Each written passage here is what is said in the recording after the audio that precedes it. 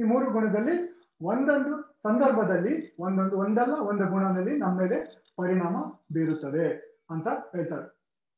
So ಆದ್ರೆ ನಾವು ಈ ಮೂರು ಗುಣ, ಗುಣಗಳಿಂದ ನಾವು ಮೇಲೆ ಹೋಗ್ಬೇಕು. ಅಂದ್ರೆ ಈ ರಜಸ್ಸು, ತಮಸ್ಸು ಮತ್ತೆ ಈ ಸತ್ವ ಗುಣದಿಂದ ನಾವು ಮೇಲೆ ಹೋಗ್ಬೇಕು. ಅಂದ್ರೆ ಇದು ಹೇಗಾಗತ್ತೆ? ಇದು ಆಗೋದು ದೇವೋತ್ತಮ ಪರಮ ಪುರುಷ ಕೃಷ್ಣನ ಒಂದು ದಯ ಅಥವಾ ಕೃಷ್ಣನಿಂದ ಒಂದು ಕರುಣೆ. ಇಂದ ನಮ್ಗೆ ಅವನಿಂದ ನಾವು ಮೇಲೆ ಹೋಗಕ್ಕೆ ಸಾಧ್ಯ. ಈ ಮೂರು ಗುಣಗಳಿಂದ ಮೇಲೆ ಹೋಗೋಕ್ಕೆ ಸಾಧ್ಯ. ಅಂದ್ರೆ ದೇವೋತ್ತಮ ಪರಮ ಪುರುಷ ಅವನು ಕರುಣಾಮಯಿ. ನಮಗೆ ಕರುಣಾಮಯಿ. ಯಾವಾಗೂ ಏನಾಗತ್ತೆ? ನಾವು ಜೀವಾತ್ಮ. ಈ ಜೀವಾತ್ಮದಲ್ಲಿ ಈ ಪ್ರಕೃತಿ, ಈ ಈ ಭೌತಿಕ ಪ್ರಪಂಚದಲ್ಲಿ ನಾವು ತುಂಬಾ ಒಂದು ಒದ್ದಾಡ್ತಾ ಇರ್ತೀವಿ. ಸೊ ಅವಾಗ ಏನಾಗತ್ತೆ? ಕೃಷ್ಣನ ಒಂದು ಕರುಣೆಯಿಂದ ಅವನು ನಮ್ಮನ್ನ ಯಾವಾಗೂ ಕರ್ಕೊಳೋದಕ್ಕೆ ನೋಡ್ತಾ ಇರ್ತಾನೆ. ಅಂದ್ರೆ ಒಂದು ಹೋಲಿಕೆ ಏನಂತಂದ್ರೆ ಒಂದು ತಂದೆ ಮತ್ತೆ ಮಗ ಬೇರೆ ಬೇರೆ ಆಗೋಗಿದ್ರೆ ತಂದೆ ಯಾವಾಗ್ಲೂ ಅವನ ಮಗನ ಕರೆ ಕರೆತೊಳ್ಳೋಕೆ ನೋಡ್ತಾ ಇರ್ತಾನೆ ಅಲ್ವೇ? ಅದೇ ತರ ದೇವ, ದೇವೋತ್ತಮ ಪರಮ ಪುರುಷ ನಮ್ಮನ್ನ ಈ ಭೌತಿಕ ಪ್ರಪಂಚದಿಂದ ಎಳೆಯೋದಕ್ಕೆ ನೋಡ್ತಾ ಇರ್ತಾನೆ. ಸೊ ಹಾಗಾಗಿ ಈ ಮೂರು ಗುಣಗಳಿಂದ ನಾವು ಯಾವಾಗ ಸಿಕ್ಕಾಕೊಂಡಿರ್ತೀವೋ ಅವಾಗ ನಾವು ಹೋಗೋದಕ್ಕೆ ಕಷ್ಟ ಆಗುತ್ತೆ. ಯಾವಾಗ ಕೃಷ್ಣನ ಒಂದು ಆಜ್ಞೆ, ಕೃಷ್ಣನ ಒಂದು ಕರುಣೆಯಿಂದ ಮಾತ್ರ ನಾವು ಈ ಮೂರು ಗುಣಗಳಿಂದ ಮೇಲೆ ಹೋಗಕ್ಕೆ ಸಾಧ್ಯ ಆಗತ್ತೆ.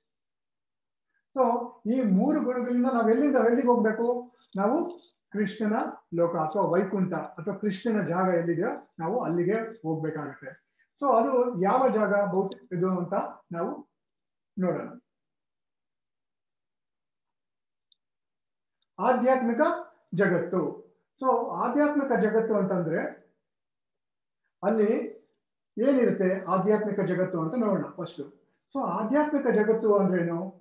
ಅಲ್ಲಿ ಅದು ಆಧ್ಯಾತ್ಮಿಕ ಜಗತ್ತು ಅಂದ್ರೆ ಅಥವಾ ವೈಕುಂಠ ಅಂತ ಹೇಳ್ತಾರೆ. ವೈಕುಂಠ, ಕುಂಠ ಅಂತಂದ್ರೆ ನಮ್ಗೆ ಈ ಆಂಗ್ಸೈಟೀಸು ಮತ್ತೆ ಇದೆಲ್ಲ ಅಲ್ಲಿರೋದಿಲ್ಲ ಸೊ ಅಲ್ಲೇನಾಗುತ್ತೆ ವೈಕುಂಠ ಅಂದ್ರೆ ನಮ್ಮ ಆ ಲೋಕದಲ್ಲಿ ನಾವು ಯಾವಾಗ ಹೋದಾಗ ಅಲ್ಲಿ ಚಂದ್ರ, ಪ್ರಕಾಶ, ಅಗ್ನಿ ಅಥವಾ ವಿದ್ಯುತ್ ಶಕ್ತಿ ಇವ್ಯಾವುದು ಬೇಡ. ಇಲ್ಲೇನಾಗುತ್ತೆ ಈ ಭೌತಿಕ ಪ್ರಪಂಚದಲ್ಲಿ ನಮ್ಗೆ ಇಲ್ಲಿ ಬೆಳಗ್ಗೆ ಸೂರ್ಯ ಅಸ್ತ ಆದ್ರೆ ಮಾತ್ರ ನಮ್ಗೆ ಬೆಳಕಾಗುತ್ತೆ ಅಲ್ವೇ? ಸೊ ಅದೇ ರೀತಿಯಲ್ಲಿ ಆಮೇಲೆ ರಾತ್ರಿ ಕತ್ಲಾಗ್ತಾ ಇದ್ದಂಗೆನೆ ನಮ್ಗೆ ಇಲ್ಲಿ ವಿದ್ಯುತ್ ಶಕ್ತಿ ಬೇಕು. ಆ? ಅದೇ ಆದ್ರೆ ಆಧ್ಯಾತ್ಮಿಕ ಜಗತ್ತಲ್ಲಿ ಯಾರಿಗೆ ಚಂದ್ರ ಪ್ರಕಾಶ ಬೇಡ, ಅಗ್ನಿ ಅಥವಾ ವಿದ್ಯುತ್ ಶಕ್ತಿ ಯಾವುದು ಬೇಡ. ಅಲ್ಲಿ ಯಾವಾಗ್ಲೂ ಬೆಳಕಾಗಿರುತ್ತೆ ಅಲ್ಲಿ. ಯಾವಾಗಲೂ ಕತ್ತಲೆ ಅಂತೂ ಇಲ್ಲ. ಇಲ್ಲಿ ಈ ಭೌತಿಕ ಪ್ರಪಂಚದಲ್ಲಿ ಇಲ್ಲಿ ಮಾಯ, ಅಂದ್ರೆ ಕತ್ತಲೆ. ಆಧ್ಯಾತ್ಮಿಕ ಜಗತ್ತಲ್ಲಿ ಬೆಳಕು. ಸೊ ಅಲ್ಲಿರೋದು. ಸೊ ಅಲ್ಲಿನ ಜೀವಿಗಳು ಆಗಿರ್ತಾರೆ ಅಲ್ಲಿನ ಜೀವ, ಜೀವರಾಶಿಗಳು ಸತ್, ಚಿತ್ ಮತ್ತೆ ಆನಂದ. ಆದ್ರೆ ಭೌತಿಕ ಪ್ರಪಂಚದಲ್ಲಿ ಅಸತ್, ಅಚಿತ್, ನಿರಾನಂದ. ಸೊ ಅಲ್ಲಿ ಇಲ್ಲಿ ಅಸತ್, ಸತ್ ಅಂದ್ರೆ ಏನು? ಎಲ್ಲ ಜೀವಗಳು ಸನಾತನವಾಗುವುದು ಆಗಿರ್ತಾರೆ ಅಂದ್ರೆ ಯಾವಾಗೂ ಅವರು ಶಾಶ್ವತ ಇರ್ತಾರೆ ಇಲ್ಲಿ. ಇಲ್ಲಿ ಹುಟ್ಟು, ಸಾವು, ಮತ್ತೆ ಜನ್ಮ, ಮೃತ್ಯು, ಜರ, ವ್ಯಾಧಿ. ನೀವೆಲ್ಲ ಇದನ್ನ ಕೇಳಿದ್ದೀರಾ? ಜನ್ಮ, ಮೃತ್ಯು, ಜರ, ವ್ಯಾಧಿ ಇಲ್ಲಿರಲ್ಲ. ಚಿತ್ತರದಲ್ಲಿ ಅಂದ್ರೆ ಅವ್ರಿಗೆ ಯಾವಾಗಲೂ ಈ ಕೃಷ್ಣನ ಬಗ್ಗೆ ಅವ್ರಿಗೆ ಜ್ಞಾನವನ್ನು ಹೊಂದಿರ್ತಾರೆ. ಆದ್ರೆ ಆನಂದ, ಇಲ್ಲಿ ವೈಕುಂಠ ಲೋಕದಲ್ಲಿ ಯಾವಾಗ್ಲೂ ಆನಂದ. ಆದ್ರೆ ಇಲ್ಲಿ ಭೌತಿಕ ಪ್ರಪಂಚದಲ್ಲಿ ಯಾವಾಗ್ಲೂ ನಿರಾನಂದ. ನಮ್ಗೆ ಒಂದಲ್ಲ ಒಂದು ಕಷ್ಟ, ಒಂದಲ್ಲ ಒಂದು ತೊಂದರೆಗಳು. ಈ ತೊಂದರೆಗಳಿಂದ ನಾವು ಒಳಗಡೆ ಆಗಿರ್ಬೇಕಾದಾಗ ನಮ್ಗೆ ಇಲ್ಲಿ ಆನಂದ ಇರೋದಿಲ್ಲ. ಸೊ ಅಲ್ಲಿ ವೈಕುಂಠದಲ್ಲಿ ನಮ್ಗೆ ಯಾವಾಗ್ಲೂ ಆನಂದ. ಸೊ ಸಚ್ ಚಿತ್ ಆನಂದ ಇರ್ತಾರೆ ಸೊ ಇಲ್ಲಿಂದ ಈ ಭೌತಿಕ ಪ್ರಪಂಚ ಏನಿರುತ್ತೆ? ಇದು ಬರೀ ಟೆಂಪರರಿ ಅಶಾಶ್ವತಂ. ಕೃಷ್ಣ ಭಗವದ್ಗೀತೆನಲ್ಲಿ ಹೇಳಿದ್ದಾರೆ, ದುಃಖಾಲಯ ಮತ್ತೆ ಅಶಾಶ್ವತಂ ಅಂತ ಹೇಳ್ತಾರೆ. ಈ ಭೌತಿಕ ಪ್ರಪಂಚ ಕೃಷ್ಣ ಭಗವದ್ಗೀತನ ಹೇಳಿದಂತೆ ಈ ಭೌತಿಕ ಪ್ರಪಂಚ ಹೆಂಗಿದೆ ಅಂದ್ರೆ ದುಃಖ ಆಲಯ, ದುಃಖದ ಮನೆ, ದುಃಖ ಆಲಯ ಮತ್ತೆ ಅಶಾಶ್ವತ. ಇದು ಅಶಾಶ್ವತ ಆಗಿರೋ ಜಾಗ ಅಲ್ಲಿ. ಸೊ ನಾವು ಇಲ್ಲಿ ಎಷ್ಟು ಆನಂದ ಹುಡುಕಿದ್ರು ಅದು ಸಾಧ್ಯವಾಗುವುದಿಲ್ಲ. ಆದ್ರೆ ನಮ್ಮ ಆಧ್ಯಾತ್ಮಿಕ ಜಗತ್ತಲ್ಲಿ ಯಾವಾಗಲೂ ನಮ್ಗೆ ಆನಂದ ಅಂತ ಸಿಗುತ್ತೆ ಅಂತ ಇಲ್ಲಿ ಆಧ್ಯಾತ್ಮಿಕ ಜಗತ್ತಲ್ಲಿ ಹೋಗ್ತಾರೆ.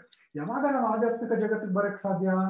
ಸೊ ಈ ತ್ರಿಗುಣಗಳಿಂದ ನಾವು ಇದನ್ನ ಮೇಲೆಯಿಂದ ಬಂದಾಗ, ಯಾವಾಗ ನಾವು ಸತ್ವಗುಣದಲ್ಲಿದ್ದಾಗ ನಾವು ಅದರ ಮೇಲೆ ಮೇಲೆ ಹೆಚ್ಚು ಹೆಚ್ಚು ನಾವು ಆಧ್ಯಾತ್ಮಿಕ ಮಾಡೋದಕ್ಕೆ ಪ್ರಯತ್ನ ಪಡ್ತೀವಿ. ಆವಾಗ ನಾವು ಮೇಲೆ ಮೇಲೆ ಹೋದಾಗ ನಾವು ಕೊನೆಗೆ ಆಧ್ಯಾತ್ಮಿಕ ಜಗತ್ತಲ್ಲಿ ಬರೋದಕ್ಕೆ ಸಾಧ್ಯ ಆಗುತ್ತದೆ. ಮುಂದಿನ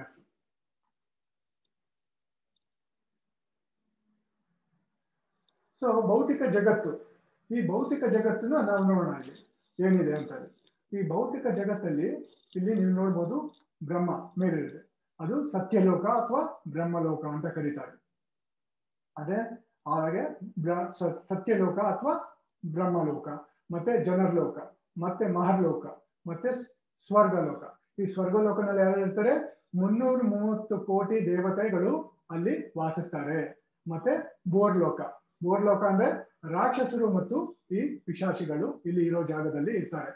ಮತ್ತೆ ಈ ಭೂಮಿ ಮಧ್ಯದಲ್ಲಿ ಹದ್ನಾಲ್ಕು ಜ ಇದು ಶಿಷ್ಟ ಇದು ಭೌತಿಕ ಜಗತ್ತಲ್ಲಿ ಏಳು ಮೇಲ್ಗಳ ಆರು ಏಳು ಮೇಲ್ಗಳ ಮಧ್ಯದಲ್ಲಿ ಅಂದ್ರೆ ಭೂಮಿ ಇರುತ್ತೆ, ಮತ್ತೆ ಕೆಳಗಡೆಯಲ್ಲಿ ಪಾತಾಳ ಲೋಕ. ಈ ಭೂಮಿ ಏನಿರುತ್ತೋ, ಈ ಭೂಲೋಕ, ಈ ಭೂಲೋಕದಲ್ಲಿ ನಾವು ಇಲ್ಲಿಂದ ಹೆಂಗ್ ಬೇಕಾದ್ರೆ ಹೋಗ್ಬೋದು. ಅಂದ್ರೆ ನಾವೊಂದು ಏರ್ಪೋರ್ಟ್ ಅಥವಾ ಬಸ್ ಸ್ಟ್ಯಾಂಡ್ ಏನಾದ್ರು ಇದ್ರೆ ಅಲ್ಲಿಂದ ಬೇರೆ ಬೇರೆ ಜಾಗಕ್ಕೆ ನಾವು ಹೋಗ್ಬೋದು. ಅಲ್ವೇ? ನಾವು ಸ್ವರ್ಗ ಲೋಕಕ್ಕೆ ಹೋಗ್ಬೋದು, ಅಥವಾ ಜನಲೋಕ ಹೋಗ್ಬೋದು, ಎಲ್ಲ ತಪ, ತಪಲೋಕಕ್ಕೆ ಹೋಗ್ಬೋದು, ಅಥವಾ ವೈಕುಂಠಕ್ಕೂ ಇಲ್ಲಿಂದ ಹೋಗ್ಬೋದು. ಸೊ ಆದರೆ ನಮ್ಮ, ನಾವು ಏನು ಕಾರ್ಯ ನಾವು ಮಾಡಿರ್ತೀವೋ ಏನು ಪಾಪ ಮತ್ತೆ ಕರ್ಮಗಳು ಮಾಡಿರ್ತೀವೋ ಅದ್ರ ಮೇಲೆ ಅವಲಂಬಿಸುತ್ತೆ. ಅದೇ ರೀತಿಯಲ್ಲಿ ಕೆಳಗಡೆ ಭೂಮಿ ಲೋಕದಲ್ಲಿ, ಕೆಳಗಡೆ ಏನಿರುತ್ತೆ? ಅತಳ, ವಿತಳ, ಸುತಳ, ತಳತಳ, ಮಹಾತಳ, ರಸತಳ, ಪಾತಾಳ. ಆ ಪಾತಾಳದಲ್ಲಿ ಪಿತೃಲೋಕ ಮತ್ತು ನರಕ ಲೋಕಗಳು. ಸೊ ಈ ನರಕ ಲೋಕ ಅಂತ ಅಂದಾಗ ಈ ಕೊನೆಯಲ್ಲಿ ಅದಕ್ಕೆ ಪಾತಾಳ ಲೋಕ ಅಂತ ಹೇಳ್ತಾರೆ. ಸೊ ಇದು ಭೌತಿಕ ಜಗತ್ತು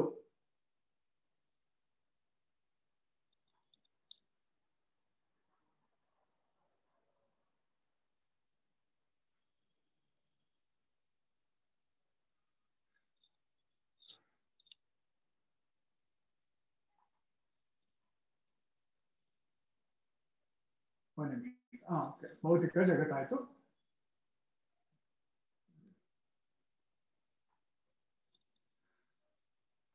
ಸೊ ಇಲ್ಲಿ ಇಲ್ಲಿ ಕೃಷ್ಣ ಏನಕ್ಕೆ ಅವತಾರ ತಾಳಿಸ್ತಾನೆ ಅಂತ ಪ್ರಶ್ನೆ ಬರುತ್ತೆ. ಸೊ ಈ ಭೌತಿಕ ಪ್ರಪಂಚದಲ್ಲಿ ನಾವೆಲ್ಲ ದುಃಖ, ದುಃಖದಲ್ಲಿ ಹೊಂದಿದ್ದೀವಿ. ಎಲ್ಲ ಕಷ್ಟ, ಸುಖಗಳು ತುಂಬಾ ಇವೆ ಅಂತ. ಸೊ ಪರಮ ಪ್ರಭುಗಳು ಹಲ- ಹಲವಾರು ರೀತಿಯಲ್ಲಿ ಅರಿತಾನೆ. ಅವನಿಗೆ ಕೃಷ್ಣನ್ಗೆ ಬರ್ಬೇಕಾದ್ರೆ ಅವನಿಗೆ ಯಾವುದೇ ಒಂದು ಇದು ಬೇಡ. ಅವನ ಇಚ್ಛೆಯಂತೆ ಬರ್ಬೋದು. ಆದ್ರೆ ಇಲ್ಲಿ ಭಗವದ್ಗೀತೆನಲ್ಲಿ ಹೇಳ್ತಾರೆ, ಯದಾ ಯದಾ ಹಿ ಧರ್ಮಸ್ಯ ಗ್ಲಾನಿರ್ಭವತು ಭಾರತ, ಅಭ್ಯುತ್ಥಾನಂ ಅಧರ್ಮಸ್ಯ ತದಾತ್ಮಾನಂ ಸುಜಾಮ್ಯಹಂ. ಅಂದ್ರೆ ಭಗವದ್ಗೀತನಲ್ಲಿ ಏನ್ ಹೇಳಿದ್ದಾನೆ ಕೃಷ್ಣ, ಯದಾ ಯದಾ ಹಿ ಧರ್ಮಸ್ಯ ಅಭ್ಯುತ್ಥಾನಂ ಅಧರ್ಮಸ್ಯ. ಯಾವಾಗ ಅಧರ್ಮದಲ್ಲಿ ಹೆಚ್ಚ ಹೆಚ್ಚೆಚ್ಚು ಹೆಚ್ಚೆಚ್ಚು ಆಗ್ತಾ ಇರ್ತೋ ಕೃಷ್ಣನ ಸ್ವ, ತನ್ನ ಇಚ್ಛೆಯಿಂದ ಅವನು ನೀರಿಗೆ ಬರ್ತಾನೆ. ಯಾತಕ್ಕೆ ಬರ್ತಾನೆ? ಧರ್ಮ ಸಂಸ್ಥಾಪನಾತ. ಧರ್ಮ ಸಂಸ್ಥಾಪನೆ ಮಾಡೋದಕ್ಕೆ ಇಲ್ಲಿ ಈ ಭೌತಿಕ ಪ್ರಪಂಚಕ್ಕೆ ಅವನು ಬರ್ತಾನೆ, ಕೃಷ್ಣ. ಸೊ ಕೃಷ್ಣ ದೇವೋತ್ತಮ ಪರಮ ಪುರುಷ ಆಗಿದಾಗ ಆಗಿರ್ತಾನೆ. ಅವನು ಧರ್ಮ ಸಂಸ್ಥಾನ. ಧರ್ಮ ಅಂದ್ರೆ ಏನು? ಧರ್ಮ ಅಂದ್ರೆ ಯಾವುದೋ ಒಂದು, ಆ, ಹಿಂದೂ ಧರ್ಮ, ಮುಸಲ್ಮಾನ್ ಧರ್ಮ, ಕ್ರಿಶ್ಚಿಯನ್ ಧರ್ಮ, ಅದಲ್ಲ. ಧರ್ಮ ಅಂದ್ರೆ ಕೃಷ್ಣನ ಒಂದು ಆಜ್ಞೆ ಪಾಲನೆದು ಕೃಷ್ಣನ ಸೇವೆಯನ್ನು ಮಾಡೋದು, ಅಥವಾ ಕೃಷ್ಣನ ಒಂದು ಆಗನೇ ಏನ್ ಪಾಲಿಸ, ಪಾಲಿಸ್ತೀವೋ ಅದಕ್ಕೆ ಧರ್ಮ ಅಂತ ಹೇಳ್ತಾರೆ. ಯಾವಾಗ ನಾವು ಭಗವದ್ಗೀತೆಯನ್ನ ಪಾಲಿಸ್ತೀವೋ, ಭಗವದ್ಗೀತೆನಲ್ಲಿ ಏನ್ ಕೊಟ್ಟಿರೋ ಇನ್ಸ್ಟ್ರಕ್ಷನ್ಸ್ ಅನ್ನು ನಾವು ಫಾಲೋ ಮಾಡ್ತೀವೋ ಅದಕ್ಕೆ ಧರ್ಮ ಅಂತ ಹೇಳ್ತಾರೆ. ಸೊ ಕೃಷ್ಣ ಬೇರೆ ಬೇರೆ ಅವತಾರದಲ್ಲಿ ಅವನು ಅವತರಿಸ್ತಾನೆ ಅವನು. ಯಾವಾಗ ಭಗವಂತ ನರಸಿಂಹ ಅವತಾರ ಆಗಿರ್ಬೋದು, ವಾಮನ ಅವತಾರ ಆಗಿರ್ಬೋದು, ರಾಮ ರಾಮ. ಈ ರೀತಿಯಲ್ಲಿ ಬೇರೆ ಬೇರೆ ಕಾಲದಲ್ಲಿ, ಬೇರೆ ಬೇರೆ ಸಮಯದಲ್ಲಿ ಅವನು ಅವತಾರ ಕೊಳ್ಳಗೊಳ್ತಾನೆ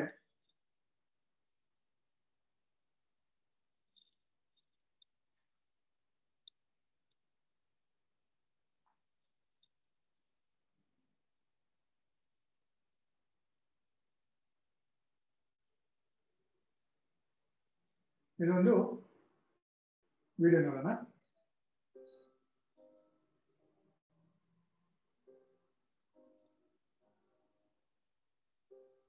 the night sky. The dark blanket above our heads, adorned with shining stars, extending as far as the eye can see. The beauty and the majesty of the universe have inspired awe and reverence in the best brains throughout history. Many millennia ago,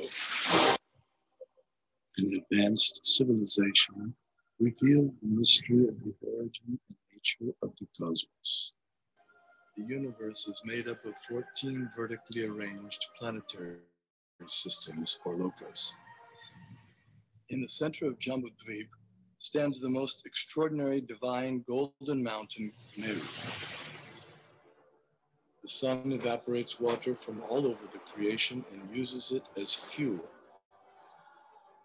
The Vedic literatures answer the question whether the cosmos always existed or it had a beginning.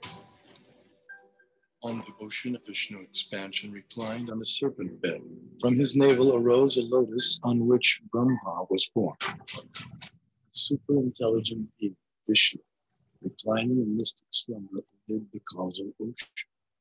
When he exhales, millions of universes issue from his body and expand until he inhales and all the universes return within him.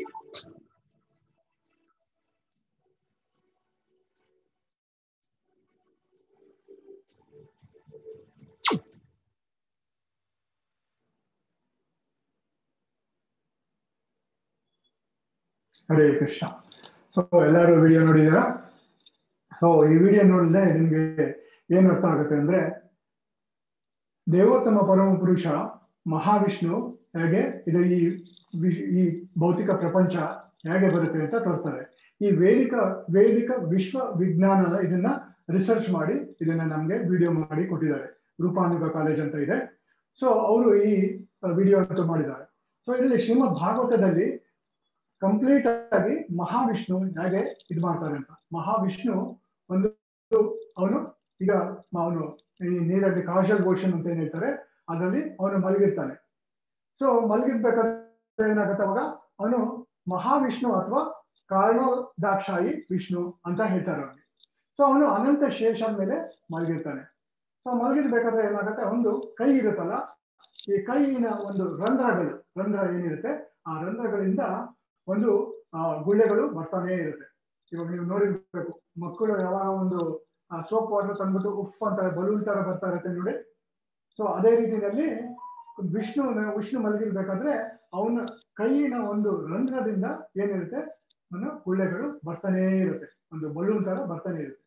So ಆ balloon ಅಲ್ಲಿ ಎಲ್ಲ ಎಲ್ಲ ಒಂದು balloon ಅಲ್ಲಿ ಒಂದು ಬ್ರಹ್ಮಾಂಡ ಇರುತ್ತೆ. So ಆ ಬ್ರಹ್ಮಾಂಡದಲ್ಲಿ ಕ್ಷೀರೋದಾಯಕ ವಿಷ್ಣು ಅಲ್ಲ ಗರ್ಭೋದಾಯಕ್ಷಿ ವಿಷ್ಣು ಅಂತ ಆ ಬಲೂನ್ ಅಲ್ಲಿ ಒಂದು ಒಳಗಡೆ ಇರ್ತಾನೆ. ಸೊ ಒಂದೊಂದು ಬ್ರಹ್ಮಾಂಡದಲ್ಲೂ ಒಬ್ಬೊಬ್ರು ವಿಷ್ಣು ಇರ್ತಾರೆ. ಸೊ ಅದ್ರಲ್ಲಿ ಇದ್ ಮಾಡ್ಬೇಕಾದ್ರೆ ಹೇಗೆ ಬರ್ತಾರೆ ಒಂದೊಂದು ವಿಷ್ಣು ಒಳಗಿರ್ಬೇಕಾದ್ರೆ, ಒಂದು ಗರ್ಭೋದಾಯಕ್ಷ ವಿಷ್ಣುನಲ್ಲಿ ಅವನು ಹೆಂಗೆ ಈ ಪ್ರಪಂಚವನ್ನು ಬರುತ್ತೆ, ಈ ಭೌತಿಕ ಪ್ರಪಂಚ? ಸೊ ಅವನ ಭೌತಿಕ ಪ್ರಪಂಚದಲ್ಲಿ ಮಲಗಿರ್ಬೇಕಾದ್ರೆ ವಿಷ್ಣುವಿನಿಂದ ಒಂದು ನಾಭಿ, ಇಲ್ಲಿ ನಾಭಿ ನಾಭಿ ಹೋಗುತ್ತೆ. ಆ ನಾಭಿಯಿಂದ ಕಮಲದ ಹೂವು. ನಿಮಗೆಲ್ಲ ಕೇಳ್ಬೇಕು. ಆ ಕಮಲದ ಹೂವು ಮೇಲೆ ಬ್ರಹ್ಮ ಕೂತಿರ್ತಾನೆ. ಸೊ ಬ್ರಹ್ಮ ಈ ಪ್ರಪಂಚಕ್ಕೆ ಬಂದಿರ್ಬೇಕಾದ್ರೆ ಅವನು ಮೊದಲನೇ ಜೀವಾತ್ಮ ಅವನು ಸೃಷ್ಟಿ ಮಾಡೋದಕ್ಕೆ. ಸೊ ಅವ್ನು ಮೊದಲನೇ ಜೀವಾತ್ಮ ಬಂದಾಗ ಯಾರೋ ಅವನಿಗೆ ಕತ್ತಲೆ, ಎಲ್ಲ ಕತ್ತಲೆ, ಏನು ಕಾಣ್ತಾ ಇರಲ್ಲ. ಇವಾಗ ನಮ್ಗೊಂದು ರೂಮ್ ಅಲ್ಲಿ ಒಂದು ಲೈಟ್ ಆಫ್ ಮಾಡಿಬಿಟ್ರೆ ಕತ್ತಲೆ, ಯಾರು ಕಾಣಲಿಲ್ಲ. ಅದೇ ರೀತಿಯಲ್ಲಿ ಈ ಪ್ರಪಂಚ ಬಂದಾಗ ಬ್ರಹ್ಮ ಕಮಲದ ಹೂ ಮೇಲೆ ಕೂತಿರ್ತಾನೆ. ಅವನಿಗೆ ಏನು ಗೊತ್ತಾಗೋದಿಲ್ಲ. ಆದರೆ ಅವನು ಎಲ್ಲ ಏನೆಲ್ಲ ಪ್ರಯತ್ನ ಮಾಡ್ತಾರೆ. ಏನೋ ಗೊತ್ತಾಗತ್ತೋ ಇಲ್ಲೋ ಆದ್ರೆ ಗೊತ್ತಾಗಲ್ಲ. ಕೊನೆಗೆ ಅವನಿಗೆ ಅನ್ನ ಕೇಳಿಸ್ತದೆ ಅಂದ್ರೆ ನೀನು ತಪಸ್ಸು ಮಾಡು ಅಂತ ಹೇಳ್ತಾರೆ. ಸೊ ಅವನು ದೇವೋತ್ತಮ ಪರಮ ಪುರುಷ ಮೇಲೆ ತಪಸ್ ಮಾಡಿದಾಗ ಏನಾಗುತ್ತೆ? ಕೃಷ್ಣನ ಒಂದು ಅವನ ಒಂದು ಆಶೀರ್ವಾದದಿಂದ ಅವನು ಅವನಿಗೆ ಕೇಳತ್ತ. ಅವನು ತಪಸ್ಸೆಯಿಂದ ಅವನಿಗೆ ಗೊತ್ತಾಗತ್ತೆ. ಸೊ ಅವಾಗ ಏನಾಗುತ್ತೆ? ಅವಾಗ ಅವನು ಬ್ರಹ್ಮ ಸೃಷ್ಟಿ ಮಾಡ್ತಾನೆ. ಇದು ಇದಾಗುತ್ತೆ ಅಂತ ಇದು ತೋರಿಸ್ತಾರೆ. ಸೊ ಆ ಜೀವ, ಒಂದೊಂದು ಜೀವಾತ್ಮದಲ್ಲಿನೂ ಕೂಡ ಅಲ್ಲಿ ನಮ್ಮಲ್ಲಿ ದೇವೋತ್ತಮ ಪರಮ ಪುರುಷ ಇರ್ತಾನೆ. ಅವನು ನಮ್ಮಲ್ಲಿ ನಮ್ಮ ಹೃದಯದಲ್ಲಿ ನೆಲೆಸಿರ್ತಾನೆ ಅವನು ಅಂತ ಇದರಲ್ಲಿ ತೋರಿಸ್ತಾ ಇದ್ದಾರೆ. ಸೊ ಹೆಂಗೆ ಈ ಪ್ರಪಂಚ ಬರೋದು ಅಂತ ಎಲ್ಲ ನೋಡಿ ಎಷ್ಟು ಚೆನ್ನಾಗಿ ಇದು ವಿಜ್ಞಾನಿಗಳು ಅರ್ಥ ಆಗದೆ, ಅರ್ಥ ಮಾಡ್ಕೊಳಕ್ಕೂ ಸಾಧ್ಯವಿಲ್ಲ. ಅಷ್ಟು ಒಂದು ಈ ಕಾಂಪ್ಲಿಕೇಟೆಡ್ ಇದು ಅಷ್ಟು ಚೆನ್ನಾಗಿ ಮಹಾವಿಷ್ಣು ಒಂದು ಈ ಪ್ರಪಂಚವನ್ನು ಕ್ರಿಯೇಟ್ ಮಾಡ್ತಾ ಇದ್ದಾರೆ.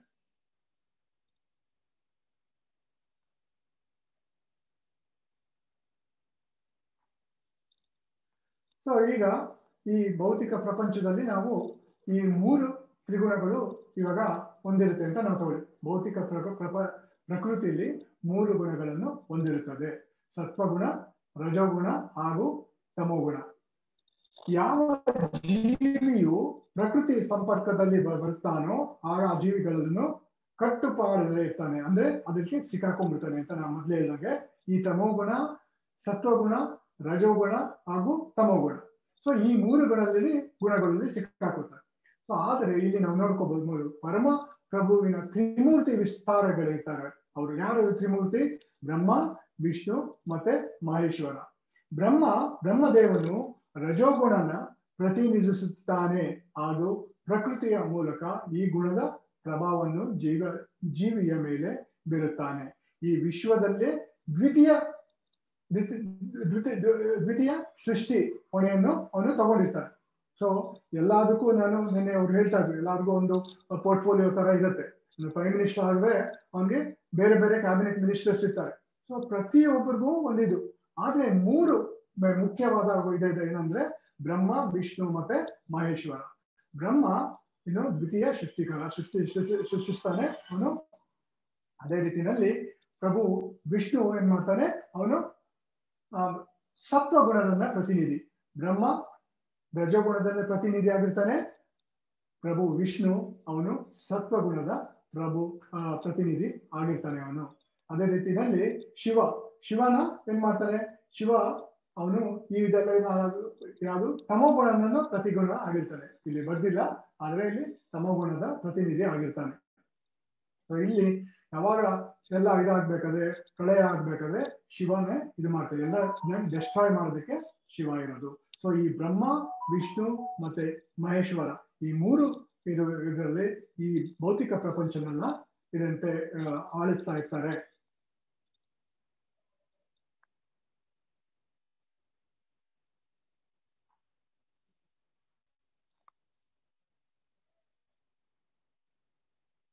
ಸೊ ಭಗವದ್ಗೀತೆ ತಿರ್ಗಾ ಹೆಂಗೆ ಹೇಳ್ತಾರೆ? ಪ್ರಕೃತಿ ತ್ರಿಗುಣಗಳು. ನೀವು ಇಲ್ಲಿ ನೋಡ್ಬೋದು, ಪ್ರಕೃತಿ ಕ್ರಿಯಮಾನಾನಿ ಗುಣ ಕರ್ಮ ಸರ್ವಶಃ, ಅಹಂಕಾರ ವಿಮೂಢಾತ್ಮ ಕರ್ತಾವಂ ಇತಿ ಮನ್ಯತೆ. ಅಂದ್ರೆ ನೀವು ಈ ಪಿಕ್ಚರ್ ಅಲ್ಲಿ ನೋಡ್ಬೋದು.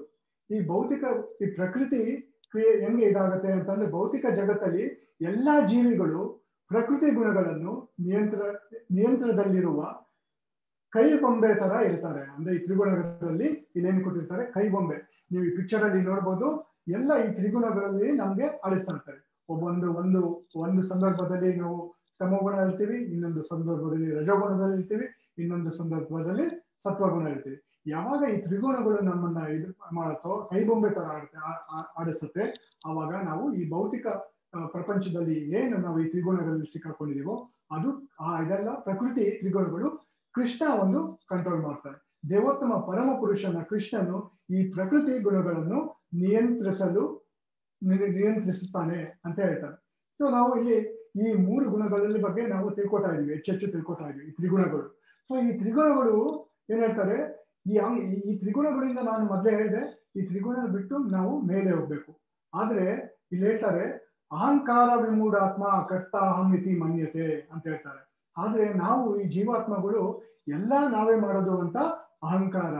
ಅಹಂಕಾರ ವಿಮೂಢಾತಂ ಕರ್ತ ಅಹಂ ಇತಿ ಮನ್ಯತೆ. ಅಂದ್ರೆ ನಾವೇ ಕರ್ತ ಅನ್ನೋದಲ್ಲಿ ನಾವು ಯಾವಾಗ ಇದು ಮಾಡ್ತೀವಿ. ಅದೇ ಹೇಳ್ತಾನೆ ಕೃಷ್ಣ ಇಲ್ಲಿ ಕರ್ತ. ಎಲ್ಲ ಆಗು ಹೋಗುವಗಳು ಕೃಷ್ಣನೇ ಎಲ್ಲ ಕಂಟ್ರೋಲ್ ಮಾಡೋದು.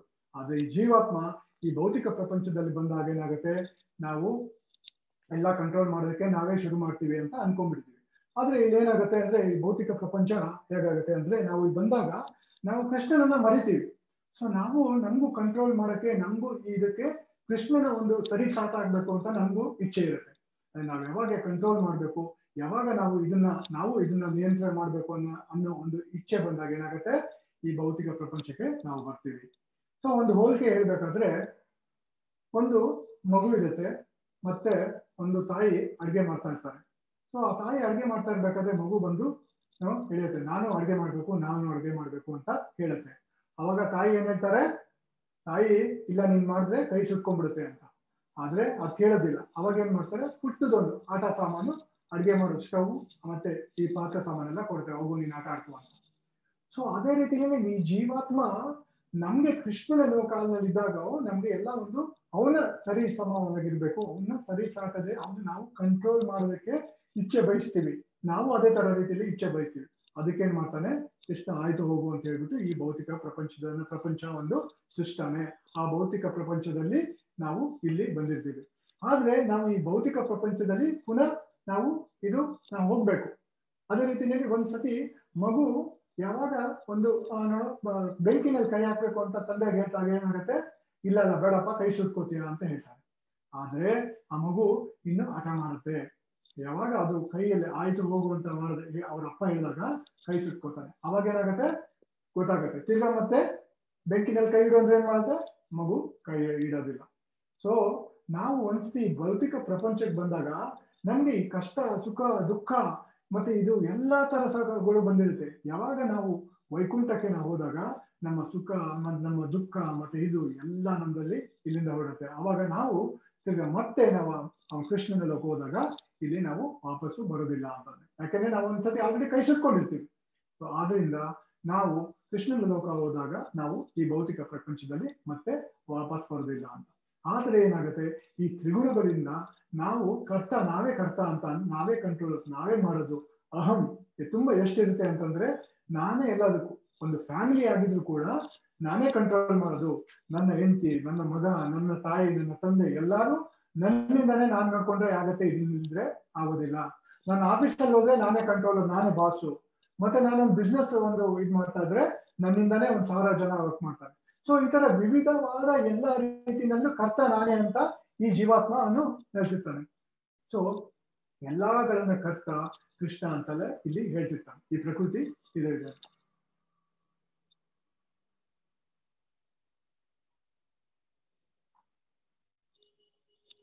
ಸೊ ಇಲ್ಲಿ ಪ್ರಕೃತಿ ತ್ರಿಗುಣಗಳು ಹೇಗಿರ್ತವೆ ಅಂತ? ಸತ್ವ ರಜ ಮತ್ತೆ ತಮೋಗುಣ. ಸೊ ಇದು ಈ ಮೂರು ಕೇಸ್ ಸ್ಟಡಿ ಮಾಡಲಾಗಿದೆ. ಇದರಲ್ಲಿ ಸತ್ವಗುಣದಲ್ಲಿ ಹೇಗಿರ್ತಾರೆ, ರಜಗುಣದಲ್ಲಿ ಹೇಗಿರ್ತಾರೆ, ಮತ್ತೆ ತಮೋಗುಣದಲ್ಲಿ ಹೇಗಿರ್ತಾರೆ. ಸೊ ನಾವು ಫಸ್ಟ್ ಕೇಸ್ ಸ್ಟಡಿ ತಗೊಳ್ಳೋಣ. ಒಂದು ಹೇಗೆ ಇರುತ್ತೆ ಅಂತ. ಸತ್ವಗುಣದಲ್ಲಿ ಒಂದು ಗಂಡ, ಹೆಂಡತಿ ಮತ್ತೆ ಮತ್ತೆ ಇರ್ತಾರೆ ಅವರು ಡಾಕ್ಟರ್ ಮಹೇಶ್ ಅಂತಾನೆ ಅವ್ರ ಹೆಸರು. ಅವರು ಎಂ ಡಿ ಮಾಡಿ ಮತ್ತೆ ಮೇಲೆ ಅವರು ಒಂದು ಸರ್ಜನ್ ಕೂಡ ಆಗಿರ್ತಾರೆ ಹಾಗಾದಾಗ ಏನಾಗುತ್ತೆ, ಅವ್ರಿಗೆ ವಿದೇಶದಲ್ಲಿ ಅವ್ರಿಗೆ ವಿದೇಶದಲ್ಲಿ, ಅಮೆರಿಕನಲ್ಲಿ ಅವ್ರಿಗೆ ಅವಕಾಶ ಸಿಗತ್ತೆ. ನೀವೊಂದು ನಿಮ್ಮ ಡಾಕ್ಟರ್, ನೀವು ಇಲ್ಲಿ ಬಂದು ನಿಮ್ಗೆ ನಮ್ಗೊಂದು ಸೇವೆ ಸಲ್ಲಿಸಿ, ನಿಮ್ಗೆ ಸಾವಿರಾರು ಡಾಲರ್ ನಿಮ್ಗೆ ಸಿಗತ್ತೆ ಸ್ಯಾಲರಿಯಲ್ಲಿ ಅಂತ ಹೇಳ್ತಾರೆ. ಆದ್ರೆ ಆ ಡಾಕ್ಟರು ಅದನ್ನ ನಿರಾಕರಿಸಿ ಹೇಳ್ತಾರೆ ನಮ್ಮ ಹಳ್ಳಿನಲ್ಲಿ ನಾನು ಸೇವೆ ಸಲ್ಲಿಸಬೇಕು. ಸೊ ಈ ಪುಟ್ಟದಲ್ಲಿ ನಾನು ಒಂದು ಕ್ಲಿನಿಕ್ ಇಟ್ಕೊಂಡು ಇದರಲ್ಲಿ ಸೇವೆ ಸಲ್ಲಿಸ್ತೀನಿ ಅಂತ ಹೇಳ್ಬಿಟ್ಟು ಆ ಡಾಕ್ಟರು ಒಂದು ಕ್ಲಿನಿಕ್ ಇಟ್ಕೊಂಡು ಕೆಲಸ ಮಾಡ್ತಿರ್ತಾರೆ. ಸೊ ಡಾಕ್ಟರ್ ಎನ್ ಟಿ ಆದವರು ಒಂದು ಗೃಹಿಣಿ. ಸೊ ಆದರ್ಶ ದಂಪತಿಗಳ ತರ ಇರ್ತಾರೆ. ಆ ಗೃಹಿಣಿ ಏನ್ ಮಾಡ್ತಾರೆ? ಅವರು ಡಾಕ್ಟರ್ಗೆ ಸೇವೆ ಸಲ್ಲಿಸ್ತಾರೆ ಮನೆಗೆ ಬಂದು ಅಡುಗೆ ಮಾಡಿ ಅವ್ರನ್ನ ಸೇವೆ ಮಾಡ್ತಾರೆ. ಆಮೇಲೆ ಅವ್ರ ಮನೆ ಹತ್ರ ಒಂದು ಚಿಕ್ಕದೊಂದು ಗಾರ್ಡನ್ ಜೊತೆ ಒಂದು ಹಸು ಇದೆ. ಸೊ ಅದನ್ನ ಸೇವೆ ಮಾಡ್ಕೊಂಡು ಅವ್ರ ಪೂರ್ತಿ ಜೀವನ ಡಾಕ್ಟರ್ದು ಕ್ಲಿನಿಕ್ ಆಯ್ತು, ಮನೆ ಆಯ್ತು. ಆಮೇಲೆ ಮನೆಗೆ ಬಂದ ಪಾರ್ಕು ಗಿಡ ಮತ್ತೆ ಹಸುವಿನ ಸೇವೆ ಮಾಡೋದು. ಈ ತರನೇ ಅವರು ತೃಪ್ತನಾಗಿರ್ತಾರೆ.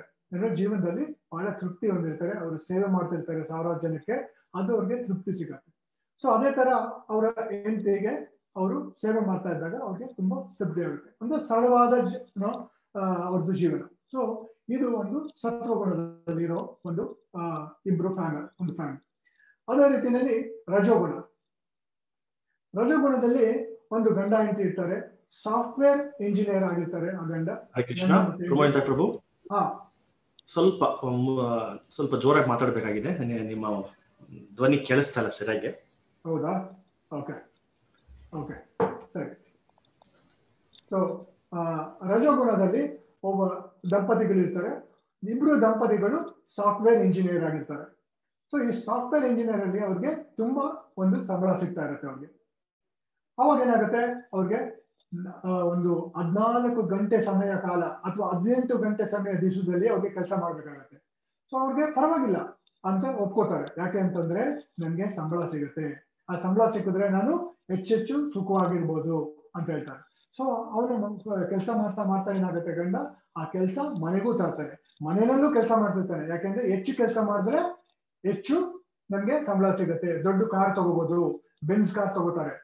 ಸೊ ಬೆನ್ಸ್ ಕಾರ್ ತಗೊಂಡಾಗ ದಿನಕ್ಕೆ ಎರಡು ಗಂಟೆ, ಎರಡೂವರೆ ಗಂಟೆ ಕಾಲ ಅದರಲ್ಲಿ ಪ್ರಯಾಣ ಮಾಡ್ತಾನೆ ಇರ್ಬೇಕು. ಆಫೀಸ್ಗೆ ಹೋಗಕ್ಕೆ ಎರಡು ಗಂಟೆ, ಮನೆಗೆ ಬರಕ್ಕೆ ಎರಡು ಗಂಟೆ. ಬೆಂಚ್ ಕಾರ್ ಇದ್ರೇನು ಆದ್ರೆ ಅದರಲ್ಲಿ ಪ್ರಯಾಣ ಮಾಡ್ತಾನೆ ಇರಬೇಕು. ಅದೇ ರೀತಿನಲ್ಲಿ ಅವ್ರ ಹೆಂಡತಿ ತುಂಬಾ ಹೊತ್ತು ಕೆಲಸ ಮಾಡ್ತಾ ಇರ್ತಾರೆ. ಮನೆಗೆ ಬಂದಾಗ ಇಬ್ರು ಆ ಒಬ್ರಿಗೊಬ್ರಿಗೆ ನೋಡೋದಕ್ಕೆ ಆಗೋದೇ ಇಲ್ಲ. ಸೊ ನೀವು ಎಷ್ಟೋ ಜನ ಫ್ಯಾಮಿಲಿನ ನೋಡಿರ್ಬೋದು. ತಂದೆ ಕೆಲ್ಸಕ್ಕೆ ಹೋಗ್ತಾರೆ. ಕೆಲ್ಸಕ್ಕೆ ಹೋದಾಗ ಏನಾಗುತ್ತೆ? ಬರೋಷ್ಟೊತ್ತಿಗೆ ರಾತ್ರಿ ಆಗುತ್ತೆ. ಬಂದಾಗ ಅವನ ಮಗ ಅಥವಾ ಮಗಳನ್ನ ನೋಡಿರಲ್ಲ, ಅವರು ನಿದ್ದೆ ಮಾಡಿರ್ತಾರೆ. ಸೊ ಬೆಳಗ್ಗೆ ಅರ್ಲಿ ಮಾರ್ನಿಂಗ್ ಎದ್ದಾಗ ಏನಾಗುತ್ತೆ? ಮಕ್ಕಳು ಸ್ಕೂಲ್ಗೆ ಹೋಗಿರ್ತಾರೆ, ಇವರು ಇನ್ನ ಮಲಗಿರ್ತಾರೆ. ಸೊ ಒಬ್ರಿಗೊಬ್ರು ಸಂಬಂಧವೇನೇ ಇರೋದಿಲ್ಲ ಇಲ್ಲಿ. ಸೊ ಏನಿದೆ ರಜಗುಣದಲ್ಲಿ ಇವ್ರಿಗೆ? ಅವ್ರಿಗೆ ದುಡ್ಡು ಮಾಡ್ಬೇಕು ದುಡ್ಡು ಮಾಡ್ಬೇಕು ದುಡ್ಡು ಮಾಡ್ಬೇಕು ಅಂತ ಒಂದು ಆ ಗುಣದಲ್ಲಿ ಇರ್ತಾರೆ ಅವರು. ಸೊ ಎಲ್ಲಾ ಗುಣದಲ್ಲೂ ಅವರು ಆ ಗುಣ ರಜಗುಣದಲ್ಲಿ ಆದ್ರೆ ಮೂರನೇ ಫ್ಯಾಮಿಲಿ ಕೇಸ್ ಸ್ಟಡಿ ನೋಡೋಣ.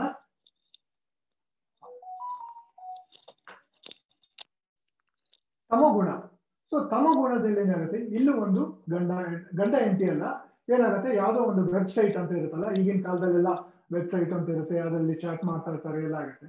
ಸೊ ಒಬ್ಬ ಹುಡುಗಿ, ಒಬ್ಬ ಹೆಂಗಸು ಒಬ್ಬ ಹುಡುಗಿ, ಮತ್ತೆ ಒಬ್ಬ ಹುಡುಗ, ಇಬ್ಬರು ಆ ಇದರಲ್ಲಿ ಇದರಲ್ಲಿ ವೆಬ್ಸೈಟ್ ಅಲ್ಲಿ ಆಕರ್ಷಣೆ ಆಗ್ತಾರೆ, ಇಬ್ರು ಅಂತ ಆಗ್ತಾರೆ. ಯಾಕಂದ್ರೆ ಇಬ್ಬರದು ಒಂದು ಗುಣ ಮ್ಯಾಚ್ ಆಗುತ್ತೆ ಅಂತ ಹೇಳ್ಬಿಟ್ಟು ಇಬ್ರು ಒಂದಾಗ್ತಾರೆ.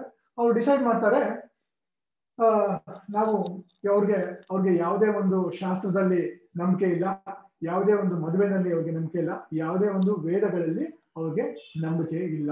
ಸೊ ಅದೇ ಅವ್ರು ಏನ್ ಹೇಳ್ತಾರೆ? ಆಯ್ತು, ನಿಂದು ಗುಣ ಮತ್ತೆ ನನ್ನ ಗುಣ ಒಂದು ಮ್ಯಾಚ್ ಆಗುತ್ತೆ. ನಾವ್ ಯಾಕೆ ಜೊತೆಲಿ ಇರಬಾರ್ದು? ಅಂತ ಹೇಳ್ತಾರೆ. ಸೊ ಮದುವೆ ಆಗುತ್ತೆ ಮದುವೆ ಆಗೋದಿಲ್ಲ. ಅದಕ್ಕೆ ಲಿವಿಂಗ್ ರಿಲೇಷನ್ ಅಂತ ಕರೀತಾರೆ. ಸೊ ಈ ಲಿವಿಂಗ್ ರಿಲೇಷನ್ ಅಲ್ಲಿ ಇಬ್ರು ಒಟ್ಟಿಗೆ ಇರ್ತಾರೆ. ಸೊ ಅವರು ಆಫೀಸ್ಗೆ ಹೋಗ್ತಾರೆ, ಇವರು ಆಫೀಸ್ ಹೋಗ್ತಾರೆ. ಆಮೇಲೆ ಬರ್ತಾ ಬರ್ತಾ ಏನಾಗುತ್ತೆ? ಅವನು ಕುಡಿಯೋದಕ್ಕೆ ಶುರು ಮಾಡ್ತಾನೆ ಅವ್ರಿಗೆ ಹೊಡೆಯೋದಕ್ಕೆ ಶುರು ಮಾಡ್ತಾನೆ ಎಲ್ಲ ಮಾಡ್ತಾನೆ, ಈ ತರ ಆಗುತ್ತೆ, ಅವರು ಬೇರೆ ಆಗ್ತಾರೆ. ಸೊ ಇದು ತಮೋಗುಣದಲ್ಲಿರೋದು ಒಂದು ಒಂದು. ಈ ಮೂರು ಕೇಸ್ ಸ್ಟಡಿನಲ್ಲಿ ನಾವು ನೋಡಿದ್ವಿ ಹಾಗೆ ಸತ್ವಗುಣದಲ್ಲಿ ಯಾರಿರ್ತಾರೆ, ರಜಗುಣದಲ್ಲಿ ಯಾರಿರ್ತಾರೆ, ಮತ್ತೆ ತಮೋಗುಣದಲ್ಲಿ ಯಾರಿರ್ತಾರೆ. ಸೊ ಇಲ್ಲಿ ನೋಡಿದಂಗೆ ಸತ್ವಗುಣ ಹೊಂದಿರೋರ್ಗೆ ಅವ್ರಿಗೆ ಜ್ಞಾನ ಇರುತ್ತೆ. ಏನಾಗತ್ತೆ, ಏನ್ ಬರುತ್ತೆ ಅಂತ ಈ ಜ್ಞಾನಗಳ, ಜ್ಞಾನ ಇರುತ್ತೆ. ಮತ್ತೆ ಅವರು ಪಾಪ ಮುಕ್ತರಾಗ್ತಾರೆ ಯಾಕೆಂದ್ರೆ ಅವರು ಅವ್ರಿಗೆ ಆಧ್ಯಾತ್ಮಿಕದಲ್ಲಿ ಸ್ವಲ್ಪ ಚಿಂತನೆ ಇರುತ್ತೆ. ಆಧ್ಯಾತ್ಮಿಕ ಪುಸ್ತಕಗಳನ್ನು ಭಗವದ್ಗೀತಾ ಮತ್ತೆ ಶ್ರೀಮದ್ ಭಾಗವತ ವೇದಗಳನ್ನ ಓದ್ತಾ ಇರ್ತಾರೆ. ಅದಕ್ಕೆ ಅವರು ಅವ್ರಿಗೆ ಗೊತ್ತಿರುತ್ತೆ. ಅವ್ರ ಕಾರ್ಯ ಏನ್ ಮಾಡ್ಬೇಕು ಅಂತ ಅವ್ರಿಗೆ ಗೊತ್ತಿರುತ್ತೆ. ಅದಕ್ಕೆ ಪಾಪ ಮುಕ್ತನಾಗುತ್ತಾರೆ ಯಾವಾಗ ಅವರು ಸಂತೋಷದ ಪ್ರಜ್ಞೆಯಿಂದ ನಿಯಮ ನಿಯಮದಿಶ ನಿಯಮದಿಸುತ್ತಾರೆ ಅವರು. ಯಾವಾಗ ಅವರು ಸಂತೋಷದಲ್ಲಿರ್ತಾರೆ. ಯಾವಾಗ ಹೆಚ್ಚಾಗಿ ಅವ್ರಿಗೆ ಕೋಪ ಬರೋದಿಲ್ಲ. ಅದೇ ರಜೋಗುಣದಲ್ಲಿ ಏನಿರ್ತಾರೆ ಮಿತಿಯಿಲ್ಲದ ಆಸೆಗಳು. ಅವ್ರಿಗೆ ನಾನು ಹೇಳ್ದಂಗೆ ಈ ನೋಡಿದಾಗ ಆಸೆಗಳು ಹೆಚ್ಚಿರುತ್ತೆ. ಫಲಪ್ರಭ ಕಾರ್ಯಗಳು, ಏನೇ ಒಂದು ಮಾಡಿದ್ರು ಅವ್ರಿಗೆ ದುಡ್ಡು ಸಿಗತ್ತೆ. ಇದು ಮಾಡಿದ್ರೆ ಅದು ಸಿಗುತ್ತೆ, ಇದು ಮಾಡಿದ್ರೆ ದುಡ್ಡು ಸಿಗುತ್ತೆ ಅಂತ ಅವ್ರಿಗೆ ಹೇಳಿ. ಸೊ ಈ ತರ ಇರ್ಬೇಕಾದಾಗ ಅವ್ರಿಗೆ ರಜಗುಣದಲ್ಲಿರ್ತಾರೆ. ಆಮೇಲೆ ಗಂಡು ಹಾಗೂ ಹೆಣ್ಣಿನ ನಡುವೆ ಆಕರ್ಷಣೆ. ಸೊ ಈ ರಜಗುಣದಲ್ಲಿರುವಾಗ ಯಾಕಂದ್ರೆ ಯಾವಾಗ ರಜಗುಣದಲ್ಲಿ ಇರ್ಬೇಕಾದ್ರೆ ಸೃಷ್ಟಿ, ಬ್ರಹ್ಮ ಈ ರಜಗುಣದ ಇದರ ಅಧಿಪತಿ ಆಗಿ ಆಗಿರ್ತಾನಲ್ಲ, ಅದೇ ರೀತಿಯಲ್ಲಿ ಗಂಡು ಹಾಗೂ ಹೆಣ್ಣಿನ ಅವ್ರಿಗೆ ಆಕರ್ಷಣೆ ಇದ್ದಾಗ ಏನಾಗುತ್ತೆ? ಅವ್ರ ಫ್ಯಾಮಿಲಿ ಲೈಫ್ ಆಗೋದು ಮತ್ತೆ ಮಕ್ಕಳನ್ನ ಸೃಷ್ಟಿ ಮಾಡೋದು. ಇದು ರಜಗುಣದಲ್ಲಿ ಇರ್ತಾರೆ. ಆದ್ರೆ ತಮಗುಣದಲ್ಲಿ ಅಂದ್ರೆ ಒಂಥರ ಹುಚ್ಚುತನ. ಆ, ಈ ತರ ಹೆಚ್ಚಿನ ಕಾಲದಲ್ಲಿ ನಿದ್ದೆ ಮತ್ತೆ ಈ ಮಾದಕ ವಸ್ತುಗಳನ್ನು ಸ್ವೀಕರಣೆ ಮಾಡೋದು, ಕುಡಿಯೋದು, ಮತ್ತೆ ಇದು ಮಾಂಸಾಹಾರಿ ಈ ತರದೆಲ್ಲ ಅವರು ತಿನ್ನುತ್ತಾರೆ. ಸೊ ಸತ್ವಗುಣ, ರಜಗುಣ ಮತ್ತೆ ತಮಗುಣ ಈ ಮೂರು ಗುಣಗಳಲ್ಲೂ ನಾವು ನೋಡಿದ್ದೀವಿ. ಆದ್ರೆ ಇಲ್ಲಿ ನಾವು ಏನ್ ಮಾಡ, ಅಂತಂದ್ರೆ ಈ ಜೀವಾತ್ಮ ಏನಿರ್ತಾರೆ ನಮ್ಮಂತ ಜೀವಾತ್ಮ, ಬದ್ಧಾತ್ಮ ಇರ್ತಾರಲ್ಲ ಯಾವಾಗೂ ಸತ್ವಗುಣದಲ್ಲಿ ಇರೋದಿಲ್ಲ ಅಥವಾ ಯಾವಾಗೂ ರಜಗುಣದಲ್ಲಿ ಇರೋದಿಲ್ಲ ಅಥವಾ ಯಾವಾಗೂ ತಮಗುಣದಲ್ಲಿ ಇರೋದಿಲ್ಲ. ಯಾಕೆಂದ್ರೆ ಯಾವಾಗ ಸತ್ವಗುಣದಲ್ಲಿ ನಾವು ಯಾವಾಗ ನೈಂಟಿ ಪರ್ಸೆಂಟ್ ಸತ್ವಗುಣ ಇದ್ದಾಗ ರಜಗುಣದಲ್ಲಿ ಟೆನ್ ಪರ್ಸೆಂಟ್ ಇರ್ತೀವಿ. ಅಥವಾ ಸ್ವಲ್ಪ ತಮಗುಣ ಇರ್ಬೋದು.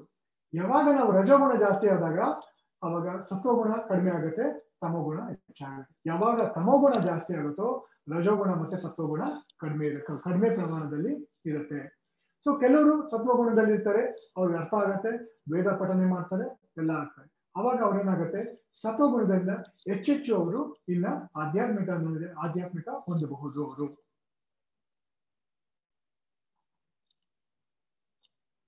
ಸೊ ಈ ಪ್ರಕೃತಿ ತ್ರಿಗುಣಗಳಿಂದ ಏನಾಗುತ್ತೆ? ನಾವು ಹೆಂಗೆ ನೋಡ್ಬೋದು? ಅವರು ಚಟುವಟಿಕೆಗಳಿಗೆ, ಚಟುವಟಿಕೆಗಳಿಗೂ ಸಣ್ಣ ಸತ್ವಗುಣ, ರಜಗುಣ ಮತ್ತೆ ತಮಗುಣ. ಸೊ ಅವರು ಸಮಯ. ನಾವು ನೋಡ್ಬೋದು, ನಿನ್ನೆ ಪ್ರಭುಗಳು ಹೇಳ್ತಾ ಇದ್ರು ಸುಗಂಧ ಪ್ರಭು ಹೇಳ್ತಾ ಇರಬೇಕು. ಯಾವಾಗ ಅವರು ಸತ್ವಗುಣದಲ್ಲಿ ಇರ್ತಾರೋ ಬ್ರಹ್ಮ ಮುಹೂರ್ತನಲ್ಲಿ ಅವರು ಎದ್ದೇಳ್ತಾರೆ ಅಂದ್ರೆ ಬ್ರಹ್ಮ ಮುಹೂರ್ತ ಅಂದ್ರೆ ಸಾಮಾನ್ಯ ಇಲ್ಲಿ ಬೆಂಗಳೂರಲ್ಲಿ ಅಥವಾ ಭಾರತದಲ್ಲಿ ಆರು ಗಂಟೆಗೆ ಬ್ರಹ್ಮ ಇದಾಗಿದೆ, ಸೂರ್ಯ ಅಸ್ತ ಆಗಿದ್ದಾಗ ಅದು ಒಂದು ಗಂಟೆ, ಒಂದೂವರೆ ಗಂಟೆ ಕಾಲ ಮೊದಲು ಅಥವಾ ಮುಂಚೆ ಅದು ಬ್ರಹ್ಮ ಮುಹೂರ್ತ ಆಗಿರ್ತಾರೆ. ಪ್ರಾತಃ ಕಾಲ ಅಂತಾನು ಹೇಳ್ತಾರೆ. ಅವಾಗ ಏನ್ ಮಾಡ್ತಾರೆ?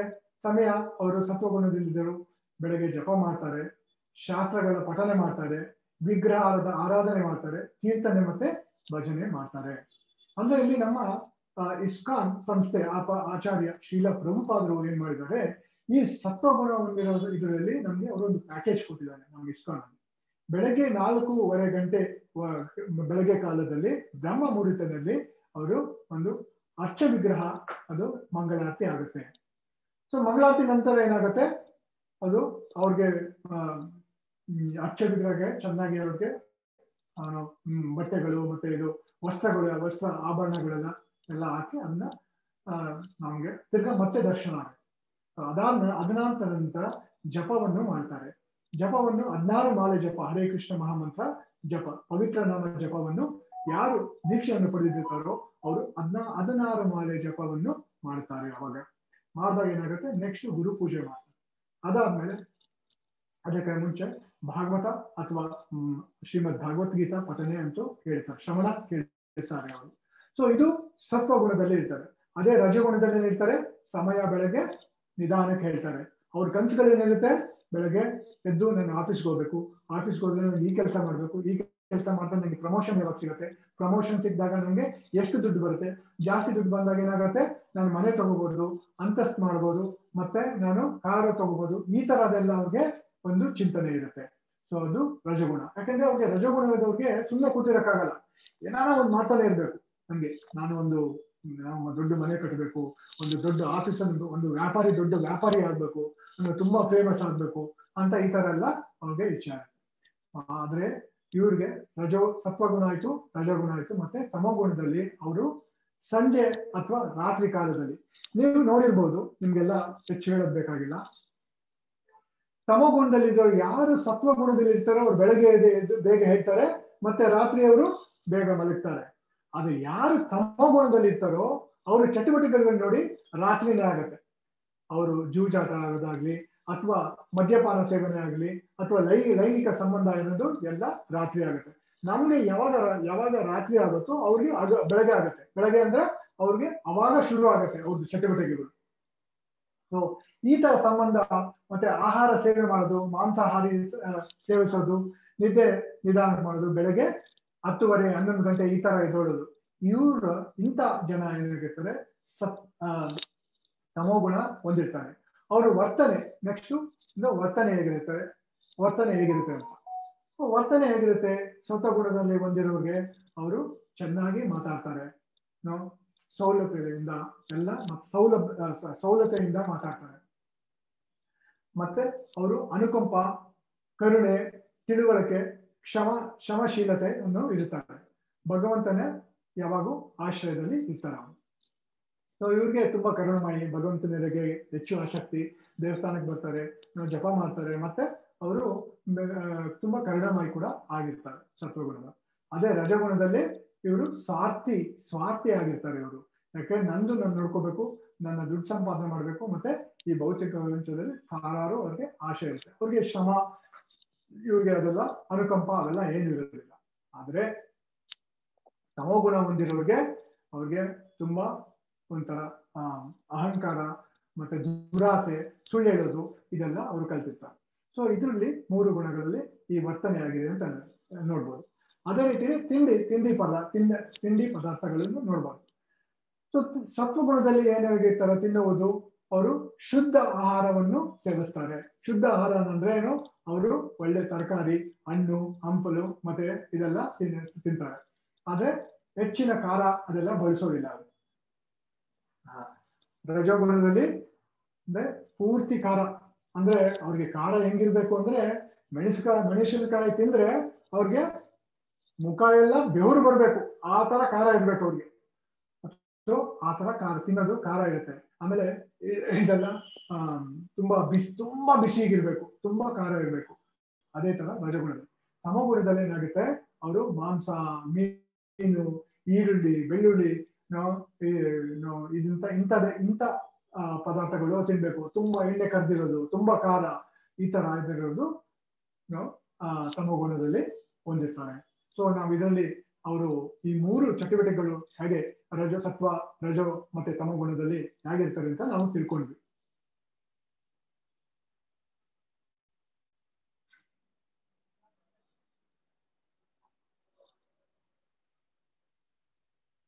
ಸೊ ಇವಾಗ ನಮ್ಗೆ ಈ ಜೀವಿಗಳು ಪ್ರಭಾವಕ್ಕೆ ಒಳಗಾಗು, ಒಳಗಾಗುವುದು ಹಂಗೆ ಅಂತಂದ್ರೆ ಇದು ಮೂರು ಕ್ಲೇಶಗಳಿರ್ತವೆ ಆಧ್ಯಾತ್ಮಿಕ, ಆದಿಭೌತಿಕ ಮತ್ತೆ ಏನಿದೆ? ಆದಿ ದೈವಿಕ ಸೊ ಆಧ್ಯಾತ್ಮಿಕ ಅಂತಂದ್ರು ದೇಹ ಮತ್ತು ಮನಸ್ಸಿನಿಂದ ಉದ್ಯ, ಉದ್ಯೋಗಿಸುವುದು ಕ್ಲೇಶಗಳು. ಅಂದ್ರೆ ನಮ್ಗೆ ಈ ದೇಹ ನನ್ನ ಮನಸ್ಸು ಆಧ್ಯಾತ್ಮಿಕ ಕ್ಲೇಷ ಅಂತಂದ್ರೆ, ಈ ಭೌತಿಕ ಪ್ರಪಂಚದ ಆಧ್ಯಾತ್ಮಿಕ ಕ್ಲೇಷ ಅಂತಂದ್ರೆ, ಈ ಮನಸ್ಸಿನಿಂದ ನಮ್ಗೆ ತೊಂದರೆಗಳು ಬರೋದು, ಮನಸ್ಸಿನಿಂದ. ಅಥವಾ ಈ ದೇಹಗಳಿಂದ ನಮ್ಗೆ ತೊಂದರೆ, ಮನಸ್ಸಿಂದ ಮನಸ್ಸಲ್ಲಿ ಏನೋ ಕಾಯಿಲೆ ಬರ್ಬೋದು, ಮನಸ್ಸಲ್ಲಿ ನಾನಾ ತರ ಚಿಂತೆ ಬರುತ್ತೆ, ನಾನಾ ತರ ತೊಂದರೆಗಳಿಗೆ ಒಳಗಾಗ್ತೀವಿ. ಅದಕ್ಕೆ ಆಧ್ಯಾತ್ಮಿಕ ಕ್ಲೇಷ ಅಂತಾರೆ ಆದ್ರೆ ಆದಿ ಭೌತಿಕ ಕ್ಲೇಶ ಅಂದ್ರೆ ಇತರ ಜೀವಿಗಳು ಕಾಟ ಕೊಡ್ತಾರೆ ನಮ್ಗೆ. ಇತರ ಜೀವಿಗಳು ಅದ್ರ ಇಲ್ಲಿ ನೋಡ್ತೀವಿ, ಸೊಳ್ಳೆ ಇದೆ. ಆ ಸೊಳ್ಳೆ ಕಚ್ಚಿದ್ರೆ ಮಲೇರಿಯಾ ಬರುತ್ತೆ. ಅಥವಾ ಏನೋ ಹೋಗ್ತಾ ಇದ್ರೆ ಆಚೆ ಹಾವು ಕಚ್ಚಿದ್ರೆ ನಮ್ಗೆ ವಿಷ ಇದಾಗುತ್ತೆ, ನಮ್ಗೆ ತೊಂದರೆ ಆಗುತ್ತೆ ಅಲ್ಲ ಅಥವಾ ನಾವೆಲ್ಲ ನಡ್ಕೊಂಡು ಹೋಗ್ತಾ ಇರ್ತೀವಿ. ಇದ್ದಕ್ಕಿದ್ದಂಗೆ ಬಂದು ಯಾವುದೋ ಒಂದು ಕಾರು ನಮ್ಗೆ ಆಕ್ಸಿಡೆಂಟ್ ಮಾಡ್ತಾರೆ. ಸೊ ಇದು ಆದಿ ಭೌತಿಕ. ಅದೇ ಆದಿ ಭೌತಿಕ. ಆದ್ ಮತ್ತೆ ಇಲ್ಲಿ ಇನ್ನೊಂದು ಆದಿದೈವಿಕ. ಆದಿದೈವಿಕ ಆದಿ ದೈವಿಕ ಅಂದ್ರೆ ಏನ- ಏನಾಗತ್ತೆ ಹೇಳಿ? ಇದು ನಮ್ಗೆ ಆದಿದೈವಿಕ ಅಂದ್ರೆ ನೈಸರ್ಗಿಕ ವಿಕೋಪಗಳು ಯಾವಾಗ? ಇದೆಲ್ಲ ನೋಡ್ತಾ ಇರ್ಬೋದು ನಾವು. ನೈಸರ್ಗಿಕದಲ್ಲಿ ಸುನಾಮಿ ಬರ್ಬೋದು, ಮತ್ತೆ ಭೂಕಂಪ ಆಗ್ಬೋದು, ಮತ್ತೆ ಇನ್ನೊಂದು ಆಗ್ಬೋದು. ಸೊ ಇದರಿಂದ ಎಷ್ಟೋ ಜನಕ್ಕೆ ನಮ್ಗೆಲ್ಲ ತೊಂದರೆ ಆಗತ್ತೆ. ಆಧ್ಯಾತ್ಮಿಕ ಕ್ಲೇಶ, ಆದಿಭೌತಿಕ ಕ್ಲೇಶ, ಮತ್ತೆ ಆದಿ, ದೈವಿಕ, ಕ್ಲೇಶ. ಈ ಮೂರು ಕ್ಲೇಶಗಳು ನಮ್ಮ, ನಾವು ತೊಂದರೆಗಳಲ್ಲಿ ಒಳಗಾಗಿರ್ತಿದ್ದೀವಿ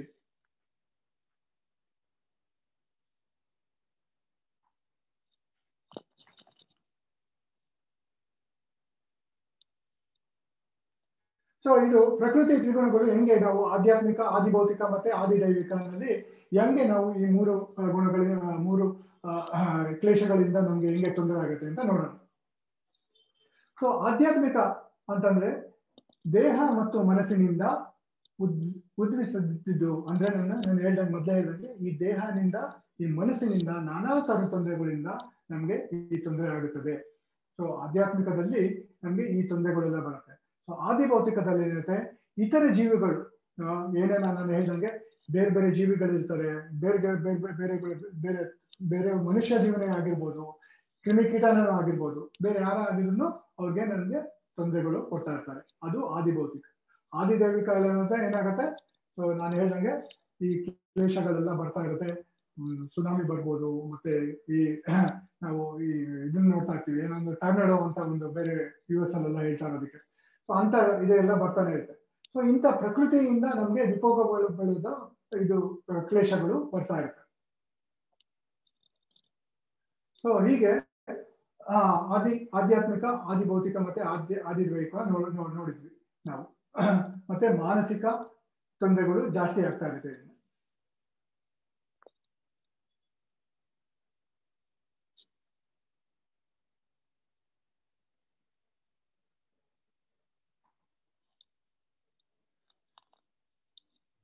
ಸೊ ಇಲ್ಲಿ ಭೌತಿಕ ಜಗತ್ತಲ್ಲಿ ಸಿಲುಕುವುದು ಅಂದ್ರೆ ಈ ಭೌತಿಕ ಪ್ರಪಂಚದಲ್ಲಿ ನೀವು ನೋಡಿರ್ಬೋದು, ಇಲ್ಲಿ ಒಂದು ವೆಬ್ ಅಂತ ಏನ್ ಹೇಳ್ತಾರೆ, ಒಂದು ಇದ್ರ ವೆಬ್ ಇರುತ್ತಲ್ಲ. ನಾವು ಈ ಭೌತಿಕ ಪ್ರಪಂಚದಲ್ಲಿ ನಾವಿಲ್ಲಿ ಕಷ್ಟ ಸುಖಗಳ ಮಧ್ಯದಲ್ಲಿ ನಾವು ಇಲ್ಲಿ ಸಿಕ್ಕಾಕೋತೀವಿ ಯಾವಾಗ ನಾವು ಈ ಸತ್ವಗುಣದಲ್ಲಿಂದ ಮೇಲೋದಾಗ ಏನಾಗುತ್ತೆ? ಸತ್ವಗುಣದಲ್ಲಿರುವ ಕ್ರಮೇಣ ಏನಾಗುತ್ತೆ? ಊರ್ಧ್ವ ಲೋಕ ಏರುತ್ತೀವಿ. ಅಂದ್ರೆ ಇಲ್ಲಿ ಇಲ್ಲಿ ಪಿಕ್ಚರ್ ಅಲ್ಲಿ ನೋಡ್ತಾ ಇದ್ದೀರಾ? ಈ ಊರ್ಧ್ವ ಲೋಕ ಅಂತಂದ್ರೆ ಅಲ್ಲಿಂದ ಲೋಕ ಮೇಲೆ ಮೇಲೆ ಮೇಲೆ ನಾವು ಹೋಗಕ್ಕೆ ಪ್ರಯತ್ನ ಮಾಡ್ತೀವಿ. ಅದೇ ರಜಗುಣದಲ್ಲಿರೋದ್ರಲ್ಲಿ ಈ ಭೂಲೋಕದಲ್ಲಿ ನೆಲೆಸುತ್ತೀವಿ ನಾವು ಈ ಭೂಲೋಕದಲ್ಲಿ, ಈ ರಜಗುಣದಲ್ಲಿ ನಾವು ಇಲ್ಲಿ, ಇಲ್ಲೇ ಇರ್ತೀವಿ. ಸೊ ಅಲ್ಲಿಂದ ನಾವು ಯಾವಾಗ ನಾವು ಸತ್ವಗುಣದ ಮೇಲೆ ಹೋಗ್ತೀವೋ, ನಾವು ಮೇಲೆ ಮೇಲೆ ಲೋಕಕ್ಕೆ ಪ್ರಯಾಣಗೊಳಿಸ್ಬೋದು. ಆದ್ರೆ ನಾವು ಯಾವಾಗ ಕೆಟ್ಟ ಕೆಲಸ ಮಾಡ್ತೀವೋ ತಮೋಗುಣದಲ್ಲಿ ಇರ್ತೀವೋ, ಆ ಲೋಕದಲ್ಲಿ ನಾವು ಕೆಳಗಡೆ ಲೋಕದಲ್ಲಿ ಹೋಗಿ ಹೋಗ್ತೀವಿ. ನಾವು ಅವಾಗಲೂ ನೋಡಿದಂಗೆ ಅತಳ ವಿತಳ ರಸತಳ, ಮಹಾತಳ ಪಾತಾಳ. ಸೊ ಈ ಪಾತಾಳಕ್ಕೆ ನಾವು ಹೋಗ್ತೀವಿ.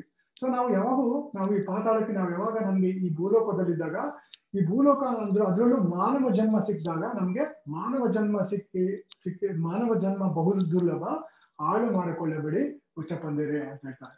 ಸೊ ಈ ಭೌತಿಕ ಪ್ರಪಂಚದಲ್ಲಿ ನಮ್ಗೆ ಮಾನವ ಜನ್ಮ ಸಿಕ್ಕಿದಾಗ ನಾವು ತುಂಬಾ ತುಂಬಾ ಒಂದು ಒಂದು, ಆ ದೇಹ ಸಿಕ್ಕಿರ್ಬೇಕಾದ್ರೆ ನಮ್ಗೆ ಒಂದು ಒಂದು ಲಾಟ್ರಿ ಇದ್ದಂಗೆ. ಹೇಗೆ? ಒಂದು ಲಾಟ್ರಿ ಟಿಕೆಟ್ ನೀವು ತಗೋತೀರಾ. ಸೊ ಲಾಟ್ರಿ ಟಿಕೆಟ್ ತಗೊಂಡಾಗ ಏನಾಗುತ್ತೆ? ನಿಮಗೆ ಎಷ್ಟೋ ಒಂದು ಲಕ್ಷ ಅಥವಾ ಕೋಟಿ ರೂಪಾಯಿ ನಿಮಗೆ ಅದ್ರಲ್ಲಿ ಬರುತ್ತೆ.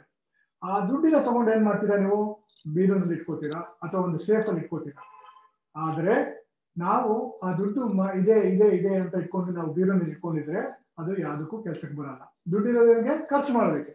ನಮ್ಮ ಸಂತೋಷ ಇದು ಮಾಡೋದಕ್ಕೆ, ಸಂತೋಷ ಅದು ಅದು ತಗೊಳೋದಕ್ಕೆ, ಇದು ತಗೊಳೋದಕ್ಕೆ ಖರ್ಚು ಮಾಡೋದಕ್ಕೆ ಅಲ್ವಾ? ಏನಕ್ಕೆ ಬೇಕಾದ್ರೆ. ಆದ್ರೆ ಅದೇ ರೀತಿಯಲ್ಲಿ ನಮ್ಮ ಈ ಮಾನವ ಜನ್ಮ ಯಾವಾಗ ಸಿಕ್ಕಿದೆಯೋ ಅದು ಒಂದು ಲಾಟ್ರಿ ಇದ್ದಂಗೆ. ಯಾಕಂದ್ರೆ ನಮ್ಮ ಭಗವದ್ಗೀತೆ ಹೇಳ್ತಾರೆ, ಎಂಬತ್ತು ನಾಲ್ಕು ಲಕ್ಷ ಜೀವ ಯೋನಿ, ಯೋನಿಗಳು ಇಂದ ಬಂದಾಗ ನಾವು ಆ ಪುನರಪಿ ಜನ್ಮ ಪುನರಪಿ ಜನ್ಮ ಆದಾಗ ನಾವು ಎಂಬತ್ತು ನಾಲ್ಕು ಲಕ್ಷ ಜೀವರಾಶಿಯಲ್ಲಿ ನಾವು ಒಬ್ರು ಮಾನವ ಜನ್ಮ. ಅದೇ.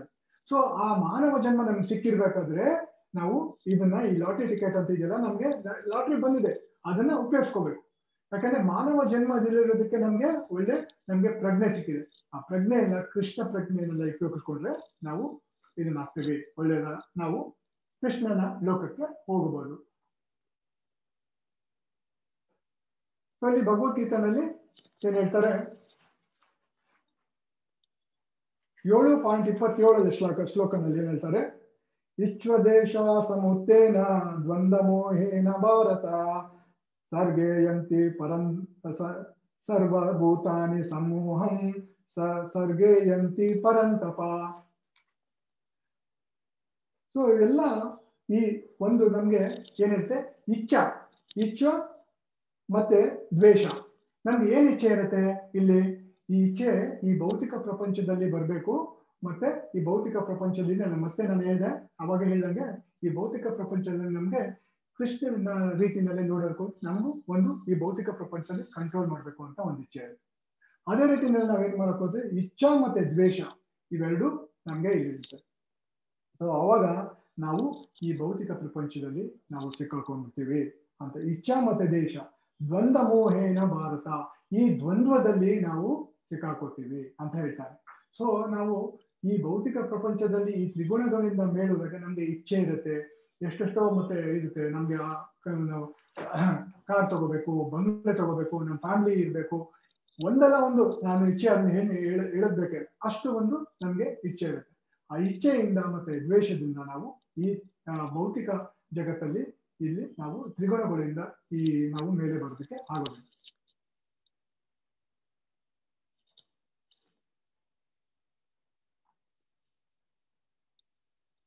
ಹಾಗೆ ಭಗವದ್ಗೀತೆ ಏಳನೇ ಅಧ್ಯಾಯದಲ್ಲಿ ಹದಿನೆಂಟನೇ ಶ್ಲೋಕದಲ್ಲಿ ತ್ರಿಗುಣವನ್ನು ಗೆಲ್ಲಲು ಇರುವುದು ಪರಿಹಾರ. ಹೆಂಗೆ ಇದು ಈ ತ್ರಿಗುಣಗಳಿಂದ ಮಾಡಲು ಹೋಗೋದಲ್ಲಿ ಪರಿಹಾರ? ನಾನು ಇಷ್ಟೊತ್ತು ಹೇಳಿದೆ. ಈ ಭೌತಿಕ ಪ್ರಪಂಚದಲ್ಲಿ ಈ ತ್ರಿಗುಣ ಇದೆ ತ್ರಿಗುಣ ಇದೆ ಈ ತ್ರಿಗುಣದಿಂದ ಮೇಲೆ ಹೋಗೋದಕ್ಕೆ ಹೆಂಗೆ ಇರಲಿ ಪರಿಹಾರ ಅಂತ ಭಗವದ್ಗೀತಾ ದೇವೋತ್ತಮ ಪರಂಪುರುಷ ಹೇಳಿದ್ದಾರೆ ದೈವೇಕಾ ಗುಣಮಹಿ ಮಮ ಮಾಯ ದುರತ್ಯಯ ಮಾವೇವ ಪ್ರಪದ್ಯಂತೆ ಪ್ರಪದ್ಯನೆ ಮಾಯಾಮೀತಂತರಿಂತಿತೆ ಸೊ ಈ ತ್ರಿಗುಣಗಳಿಂದ ಬರಬೇಕಾದ್ರೆ, ಈ ಐಕ ಪ್ರಕೃತಿ ತ್ರಿಗುಣಗಳಿಂದ ಆ ನನ್ ದೈವಿಕ ದೈವಿಕ ಶಕ್ತಿಯಲ್ಲಿ ಯಾವಾಗ ನಾವು, ಆ, ಈ ಮೂರು ಗುಣಗಳನ್ನು ಇರ್ಬೇಕಾದ್ರೆ ನನ್ನ ಒಂದು, ಅವರು ಶರಣಾಗತಿ ಆಗ್ಬೇಕು. ಕೃಷ್ಣನ್ಗೆ ಕೃಷ್ಣ ಹೇಳ್ತಾರೆ, ನನ್ನ ಶರಣಾಗತಿ ಆಗ್ಬೇಕು ಅಂತ. ಯಾವಾಗ ನಾವು ಕೃಷ್ಣನ ಶರಣಾಗತಿ ಆದಾಗ ಈ ತ್ರಿಗುಣಗಳಿಂದ ಮೇಲಕ್ಕೆ, ಈ ಭೌತಿಕ ಪ್ರಪಂಚದಿಂದ ನಾವು ಹೋಗೋಕೆ ಸಾಧ್ಯ ಆಗುತ್ತೆ. ಅಂದ್ರೆ ಈ ಪಿಕ್ಚರ್ ಅಲ್ಲಿ ನೋಡ್ತಾ ಇದ್ದಾರೆ. ಈ ಭೌತಿಕ ಪ್ರಪಂಚ, ಕೃಷ್ಣ ಯಾವಾಗಲೂ ನಾನು ಮೊದಲೇ ಹೇಳ್ದಂಗೆ ಕರುಣಾಮಹಿ. ಕೃಷ್ಣ ಕರುಣಾಮಯಿ ಆಗಿದಾಗ ಏನಾಗುತ್ತೆ? ನಾವು ಯಾವಾಗ ನಮ್ಗೆ ತೊಂದರೆ ಆದಾಗ, ಕೃಷ್ಣ ಅಂತ ನಾವು ಒಂದ್ಸತಿ ಕರೆದಾಗ, ನೀವು ಪಿಕ್ಚರ್ ನೀವು ನೋಡ್ತಾ ಇರ್ಬೋದು, ಕೃಷ್ಣ ಅವನ ಗರುಡದಿಂದ ಬಂದು ತಕ್ಷಣ ನಮ್ಮನ್ನ ಕರ್ಕೊಂಡು ನಾವು ನಮ್ಮ, ಆ, ವೈಕುಂಠ ಲೋಕಕ್ಕೆ ಅಥವಾ ಕೃಷ್ಣನ ಲೋಕಕ್ಕೆ ನಮ್ಮನ್ನು ಕರ್ಕೊಂತಾನೆ. ಹೇಗೆ ಅಂತಂದ್ರೆ ಈ ಆ, ಈ ಭೌತಿಕ ಪ್ರಪಂಚ ಎಷ್ಟು ದೊಡ್ಡದು ಅಂತಂದ್ರೆ ನಮಗೆ ತುಂಬಾ ಅದನ್ನ ಕ್ರಾಸ್ ಮಾಡೋಕೆ ಕಷ್ಟ. ಸೊ ಈ ತ್ರಿಗುಣಗಳಿಂದ. ಆದ್ರೆ ಕೃಷ್ಣನ ನಾವು ಒಂದು ಶರಣಾಗತಿ ಅವನು ನಮಗೆ ಶರಣ ಆದ್ರೆ ನಮ್ಗೆ ಈ ತ್ರಿಗುಣಗಳಿಂದ ನಾವು ಈಸಿಯಾಗಿ ಅದನ್ನ ಪಾರಾಗ್ಬೋದು ಅಂತ ಕೃಷ್ಣ ಇಲ್ಲಿ ಹೇಳ್ತಾ ಇದ್ದಾನೆ. ಸೊ ಒಂದು ಹೋಲಿಕೆ ಏನಪ್ಪಾ ಅಂತಂದ್ರೆ ಒಂದು ಕರು ಕರು ಇರುತ್ತೆ. ಆ ಕರುದು ಆ ಒಂದು ಹೆಜ್ಜೆ ಇರುತ್ತೆ. ಅದು ಪುಟ್ಟು ಹೆಜ್ಜೆ. ಅದರಲ್ಲಿ ನಾವು ಏನಾಗುತ್ತೆ? ಒಂದು ಮಳೆ ಬಂದಾಗ ನೀರು ಸೇರ್ಕೊಳುತ್ತೆ ಆ ನೀರು ಸೇರ್ಕೊಂಡಾಗ ಅದನ್ನ ದಾಟಕ್ಕೆ ನಮ್ಗೆ ಕಷ್ಟ ಆಗತ್ತಾ? ಇಲ್ಲ, ಕಷ್ಟ ಆಗಲ್ಲ. ಸೊ ಕೃಷ್ಣನ ಯಾವಾಗ ನಾವು ಶರಣಾಗತಿ ಆದಾಗ ನಾವು ಇದೊಂದು ದೊಡ್ಡ ನದಿನ ಪಾರ ಆಗ್ಬೇಕಾದ್ರೆ ಏನಾಗತ್ತೆ? ನಮ್ಗೆ ಬೋಟ್ ಬೇಕು. ಅಥವಾ ನಾವು ಈಜಾಡ್ಕೊಳೋದಕ್ಕೆ ಹೋಗಕ್ಕಾಗೋದಿಲ್ಲ. ಆದ್ರೆ ಯಾವಾಗ ಕೃಷ್ಣನ ಸೇವೆ ಆದ ನಾವು ಶರಣಾಗತಿ ಆಗ್ತೀವೋ, ಆ ಒಂದು ಕರುವಿನ ಒಂದು ಹೆಜ್ಜೆ ಇರುತ್ತಲ್ಲ, ಆ ಹೆಜ್ಜೆನ ನೀರಿಟ್ರೆ ಜಸ್ಟ್ ಒಂದು ಸುಮ್ಮನೆ ಹಿಂಗೆ ದಾಟ್ಬೋದು. ಅಷ್ಟು ನಮ್ಗೆ ಈಜಿ ಆಗುತ್ತೆ. ಸೊ ಕೃಷ್ಣ ಇಲ್ಲಿ ನಮ್ಗೆ ಪರಿಹಾರ ಕೊಡ್ತಾ ಈ ತ್ರಿಗುಣಗಳಿಂದ ಹೋದಾಗ ಏನಾಗುತ್ತೆ? ಕೃಷ್ಣನ ಒಂದು ಸೇವೆ, ಕೃಷ್ಣನ ಒಂದು ಕೃಷ್ಣನ ಒಂದು ಯಾವಾಗ ನಾವು ಒಂದು ಸೇವೆ ಮಾಡ್ತೀವೋ, ಯಾವಾಗ ಅವನ್ನ ಶರಣಾಗತಿ ಆಗ್ತೀವೋ, ಅವಾಗ ಮಾತ್ರ ನಾವು ಈ ತ್ರಿಗುಣಗಳಿಂದ ನಾವು ಮೇಲೆ ಬರುತ್ತೆ. ಅವಾಗ ನಾವು ಕೃಷ್ಣನ ಲೋಕ ಅಥವಾ ಈ ಭೌತಿಕ ಪ್ರಪಂಚದಲ್ಲಿ ನಾವು ಇಲ್ಲಿಂದ ಹೋಗ್ಬೋದು ಅಂತ ಹೇಳ್ತಾರೆ. ಸೊ ಹಾಗಾಗಿ ನಾವು ಇದರಲ್ಲಿ ತ್ರಿಗುಣಗಳಿಂದ ಹೇಗೆ ಪಾರಾಗ್ಬೋದು ಅಂತ ಕೃಷ್ಣನ ಭಗವದ್ಗೀತೆಯಿಂದ ನಾವು ತಿಳ್ಕೊಂಡ್ವಿ. ಸೊ ಇದನ್ನ ನಾವೇನ್ ಮಾಡ್ಬೇಕು ಇವಾಗ ಭಕ್ತಿ ಸೇವೆಯನ್ನು ನಾವು ಮಾಡಬೇಕು. ನೆನ್ನೆ ನಾವು, ಆ, ಪ್ರಭುಜಿ ಅವರನ್ನ ಕೇಳಿದ್ವಿ, ಭಕ್ತಿ ಸೇವೆ ಯಾಕೆ ಮಾಡ್ಬೇಕು ಅಂತ. ಭಕ್ತಿ ಸೇವೆ ಮಾಡ್ಬೇಕಾದ್ರೆ ಹೆಚ್ಚು ಏನು ಕಷ್ಟ ಇಲ್ಲ. ಕೃಷ್ಣನ ಒಂದು ಶರಣಾಗತಿ ಆಗ್ಬೇಕು ಅಂದ್ರೆ ಏನು? ಸೊ ದೇವಸ್ಥಾನ, ನಮ್ಮ ಇಸ್ಕಾನ್ ಸಂಸ್ಥೆ ದೇವಸ್ಥಾನ ಇದೆ. ಅವರು ದಿನನಿತ್ಯ ನಮ್ಮಲ್ಲಿ ಒಂದು ಕಾರ್ಯಕ್ರಮ ನಡೀತಾ ಇರುತ್ತೆ. ಬೆಳಗ್ಗೆ ಅದನ್ನ ನಾನು ಹೇಳ್ದಂಗೆ ಭಗವದ್ಗೀತಾ ಪಠನೆ, ಕೀರ್ತನೆ ಮತ್ತೆ ಈ ಪ್ರಸಾದ ವಿತರಣೆ ಎಲ್ಲ ನಾವು ಹೋಗಿ ಭಕ್ತರಿಂದ ಅವರ, ಅವರನ್ನ ಭಕ್ತ ಸಾಧು ಸಂಘ ಮಾಡಬೇಕು. ಆ ಸಾಧು ಸಂಘ ಮಾಡಿದಾಗ ಏನಾಗುತ್ತೆ ನಮ್ಗೆ ಇನ್ನೂ ಹೆಚ್ಚು ಹೆಚ್ಚು ಆಧ್ಯಾತ್ಮಿಕ ಭಗವದ್ಗೀತೆ ಮತ್ತು ಶ್ರೀಮದ್ ಭಾಗವತ ಅನ್ನು ನಾವು ತಿಳ್ಕೊಬಹುದು ನಾವು ಈ ಶಾಸ್ತ್ರವನ್ನು, ಯಾಕಂದ್ರೆ ಶಾಸ್ತ್ರದಲ್ಲಿ ಎಲ್ಲ ನಾವು ಭಗವದ್ಗೀತೆ ಓದಿ ನಾವು ತಿಳ್ಕೊಳೋದಕ್ಕೆ ಆಗಲ್ಲ. ಅದಕ್ಕೆ ಏನಾಗುತ್ತೆ? ನಮ್ಗೆ ಗುರುಗಳು ಬೇಕು ಅಥವಾ ಭಕ್ತರು ಸಂಘ ಬೇಕು. ಯಾರು ಭಕ್ತರು ಈ ಭಗವದ್ಗೀತೆನ ಪಠನೆ ಮಾಡಿರ್ತಾರೋ, ಯಾರು ಈ ಭಗವದ್ಗೀತನ ಪಾಲನೆ ಮಾಡಿರ್ತಾರೋ ಅಂತವ್ರ ಹತ್ರ ನಾವು ತಿಳ್ಕೊಂಡಾಗ ಏನಾಗುತ್ತೆ? ನಮ್ಗೆ ನಮ್ಗೆ ಚೆನ್ನಾಗಿ ಅರ್ಥ ಆಗುತ್ತೆ. ನಾವು ಆಧ್ಯಾತ್ಮಿಕ ಜೀವನದಲ್ಲಿ ನಾವು ಮುಂದೆ ಸೊ ನಮ್ಗೆ ಈ ಭಕ್ತಿ ಯೋಗನ ನಾವು ಹೇಗೆ ಮಾಡ್ಬೇಕು ಅಂತ ಅಂದಾಗ, ನಮ್ಗೆ ಮೊದಲನೇದಾಗಿ ನಾವು ಹರೇ ಕೃಷ್ಣ ಮಹಾಮಂತ್ರವನ್ನು ಜಪ ಮಾಡಬೇಕು. ಸೊ ಈ ಹರೇ ಕೃಷ್ಣ ಮಹಾಮಂತ್ರ ಜಪ ಮಾಡ್ತಾ ಮಾಡ್ತಾ ಏನಾಗುತ್ತೆ? ನಮ್ಗೆ ಚೇತೋ ದರ್ಪಣ ಮಾರ್ಜನ. ಅಂದ್ರೆ ಒಂದು ಕನ್ನಡಿ ಹೆಂಗೆ ಇರುತ್ತೆ? ಕನ್ನಡಿ ಮೇಲೆ ಧೂಳು. ಈ ಕನ್ನಡಿ ಮೇಲೆ ಧೂಳು ಇದ್ದಾಗ ಏನಾಗುತ್ತೆ?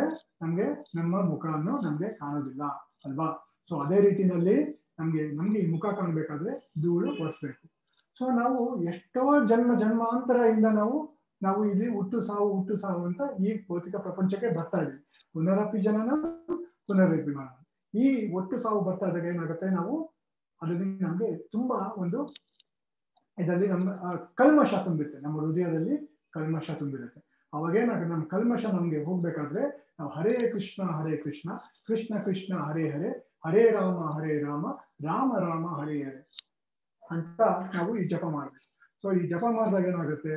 ನಾವು ನಮ್ಮ ಕಲ್ಮಶವನ್ನು ನಾಶ ಆದಾಗ ನಾವು ಆಧ್ಯಾತ್ಮಿಕ ಜೀವನನ ಸುಲಭವಾಗಿ ಪ್ರಯತ್ನ ನಡೆಸ್ಬೋದು.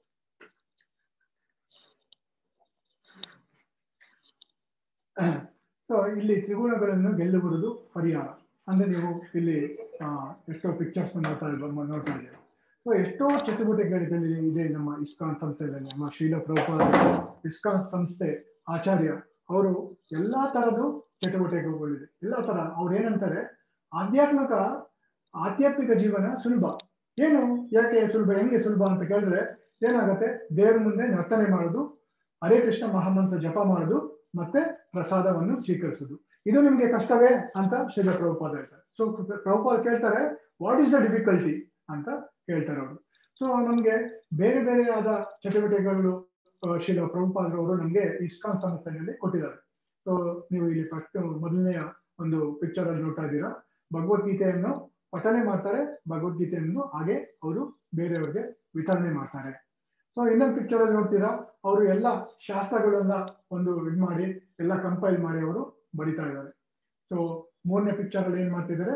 ಕೃಷ್ಣನಗೋಸ್ಕರ ಅವರು ಇದು ಮಾಡ್ತಾ ಇದ್ದಾರೆ. ಏನಂದ್ರೆ ಅವರೊಂದು ಭೋಗ ಮಾಡ್ತಿದ್ದಾರೆ. ಅಂದ್ರೆ ಪ್ರಸಾದವನ್ನು ಕೃಷ್ಣನ್ಗೆ ಕೊಡೋದಕ್ಕೋಸ್ಕರ ಅವರು ಭೋಗವನ್ನು ತಯಾರು ಮಾಡ್ತಿದ್ದಾರೆ. ಸೊ ನಾವು ಎಲ್ಲ ನಮ್ಮ ಜೀವನದಲ್ಲಿ, ಈ ಕೊನೆಯಲ್ಲಿ ಏನಾಗುತ್ತೆ ಅವರು ಕೃಷ್ಣನ ಒಂದು ಪ್ರವಚನ ಹೇಳ್ತಾರೆ. ಭಗವದ್ಗೀತಾ ಮತ್ತೆ ಭಾಗವತ ಪ್ರವಚನ. ಸೊ ನಾವು ಅನ್ಕೋಬಹುದು ನಾವು ಕೃಷ್ಣ ಪ್ರಜ್ಞೆ ಬರ್ಬೇಕಾದ್ರೆ ನಾವೆಲ್ಲ ಬಿಟ್ಟು ನಾವು ಬಂದಿರ್ಬೇಕಾ ಅಂತ? ಇಲ್ಲ. ಅಂದ್ರೆ ನಮ್ಮ ಜೀವನದಲ್ಲಿ ಏನಾಗಬೇಕು ಕೃಷ್ಣ ಪ್ರಜ್ಞೆ ಅಂತ ಏನು? ಕೃಷ್ಣನ ಒಂದು ಸಂಬಂಧವನ್ನು ಬೆಳೆಸೋದು ಅಷ್ಟೇ. ಯೋಗ ಅಂತಂದ್ರೆ ಏನು? ಯೋಗ ಅಂದ್ರೆ ಒಂದು ಈ ಚೈನ್ ಲಿಂಕ್ ಇದೆ. ಲಿಂಕ್ ಅಂದ್ರೆ ಈ ಸೈಕಲ್ ಚೈನ್ ನೋಡಿರ್ತೀರಲ್ವೇ ನೀವು? ಆ ಸೈಕಲ್ ಲಿಂಕ್ ಇರುತ್ತೆ ಲಿಂಕ್ ಅದೇ ತರ ನನ್ನ ಕಳೆದೋದ ಸಂಬಂಧ ಕೃಷ್ಣನ ಹತ್ರ ಮತ್ತೆ ಬೆಳೆಸೋದು. ಅದಕ್ಕೆ ಯೋಗ ಅಂತ. ಸೊ ಅದೇ ಕೃಷ್ಣ ಪ್ರಜ್ಞೆ. ಸೊ ನಾವು ಕೃಷ್ಣ ಪ್ರಜ್ಞೆ ಮಾಡ್ಬೇಕಾದ್ರೆ ನಾವು ಏನು ಬಿಟ್ಟಿರೋದು ಏನು ಬೇಕಾಗಿಲ್ಲ. ನಮ್ಮ ಗಂಡ, ಹೆಂಡತಿ ಮಕ್ಕಳು ಯಾರು ಬೇಕಾದ್ರೆ ಇದರಲ್ಲಿ ಪಾಲಿಸ್ಬೇಕು ಮತ್ತೆ ಎಲ್ಲಾ ನಮ್ಮ ಚಟುವಟಿಕೆಗಳಿಗೂ ಮುಂದುವರಿಸ್ಬೋದು. ಆದ್ರೆ ನಾವು ಒಂದೇನು ಇರ್ಬೇಕು ಕೃಷ್ಣನ ಒಂದು ಮಧ್ಯದಲ್ಲಿ ಇಟ್ಕೊಂಡು ನಾವು ಕೆಲಸ ಮಾಡ್ಬೋದು ಅಂತ ಇದರಲ್ಲಿ ಹೇಳ್ತಾರೆ. ಸೊ ಇದರಿಂದ ನಾವು ಪಾರಾಗತ್ತೆ, ತ್ರಿಗುಣಗಳಿಂದ ಪಾರಾಗೋ ಅಂದ್ರೆ ಸುಲಭವಾದ ಒಂದು ಮಾರ್ಗ ಶೀಲ, ಪ್ರಭುಪಾದರು ನಮ್ಮ, ಆ, ಸಂತಾತ ಆಚಾರ್ಯ ಒಂದು ಸುಲಭ ಮಾರ್ಗ ಕೊಟ್ಟಿದ್ದಾರೆ.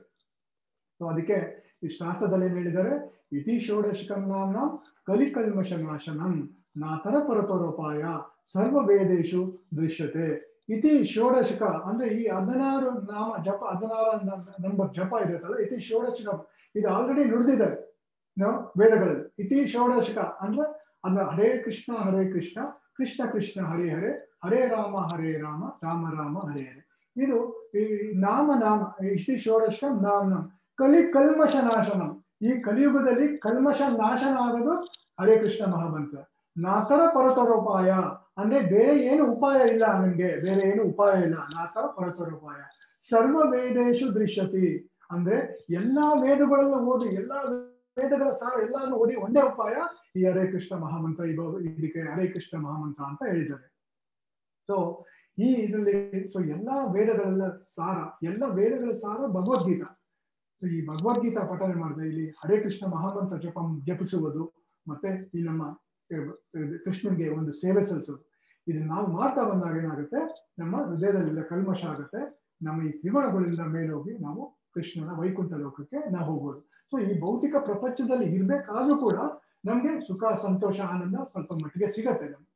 ಸೊ ಆ ಸುಖ, ಸಂತೋಷ, ಆನಂದ ನಾವು ಏನ್ ನಾವು ಪ್ರಾರ್ಥನೆ ಮಾಡ್ತೀವೋ, ಅದು ಈ ಹರೇ ಕೃಷ್ಣ ಮಹಾಮಂತ್ರ ಇದನ್ನು ಜಪ ಮಾಡಿದ್ರೆ ಹರಿನಾಮ ಹರಿನಾಮ ಇವ ಕೇವಲ ಹಲವು ನಾಸ್ತಿವ ನಾಸ್ತಿವ ನಾಸ್ತಿವ ಗತಿರನ್ವಿತ ಸೊ ಈ ಶಾಸ್ತ್ರದಲ್ಲಿ ಹೇಳಿದ್ದಾರೆ ಒಂದು ಕೆಲಸ ಯಾರನ್ನ ಮಾಡ್ಬೇಕಾದ್ರೆ ನಾವು ಸಾಮಾನ್ಯವಾಗಿ ಯಾರಿಗಾನ ಒಂದು ಕೆಲಸ ಹೇಳ್ಬೇಕಾದ್ರೆ ಆ, ಮಗನ್ಗೊಂದು ಕೆಲಸ ಹೇಳ್ಬೋದು ಗೊತ್ತಾನಪ್ಪ ನೋಡು ನಾನು ಬರೋ ಟೈಮಲ್ಲಿ ನೀನು ಈ ಕೆಲಸ ಮಾಡಿರ್ಬೇಕು ಅಂತ. ಆದ್ರೆ ಅವನು ಅಪ್ಪನ ಭಯ ಇರ್ತಿ ಎಲ್ಲಿ ಮರ್ತ್ಬಿಡ್ತಾನೋ ಆ ಮಗು ಅಂತ ಹೇಳ್ಬಿಟ್ಟು ಆ ಇದು ಕೆಲಸ ಮಾಡ್ಬೇಕು. ಆಯ್ತಾ? ನಾನು ಬರೋಷ್ಟೊತ್ತಲ್ಲಿ ನೀನ್ ಕೆಲಸ ಮಾಡ್ಬೇಕು. ಆ ಅಂತ ಹೇಳ್ತಾನೆ. ಹೋಗ್ಬೇಕಾದ್ರೆ ಇನ್ನೊಂದ್ಸತಿ ಹೇಳ್ತಾನೆ ಈ ಯಾವತ್ತಾನ ಇದನ್ನ ಮರ್ತ್ಬಿಟ್ಟಿಯಾ ಈ ಕೆಲಸ ನೀನ್ ಮಾಡ್ಲೇಬೇಕು. ತಿರ್ಗಾ ಮತ್ತೆ ಹೇಳ್ತಾನೆ ಮಾಡ್ಲೇಬೇಕು, ನೀನು ಗೊತ್ತಾಯ್ತಾ ಅಂತ. ಸೊ ಏನಕ್ಕೆ ಮೂರ್ ಸತಿ ಹೇಳ್ತಾನೆ ಯಾಕಂದ್ರೆ ಅದು ಮುಖ್ಯವಾದ ಕೆಲಸ, ನೀನೇನೋ ಮರ್ತು ಬಿಡ್ಬಾರ್ದು ಅಂತ. ಅದೇ ರೀತಿಯಲ್ಲಿ ಶಾಸ್ತ್ರದಲ್ಲೂ ಹೇಳಿರ್ತಾರೆ, ನಾವು ಮರಿಬಾರ್ದು ಅಂತ. ಹರಿನಾಮ ಹರಿನಾಮ ಹರಿನಾಮ ಇವ ಕೇವಲ ಕಲು ನಾಸ್ತಿಯವ ನಾಸ್ತಿಯವ ಅನ್ಯತಾ ಅಂತ.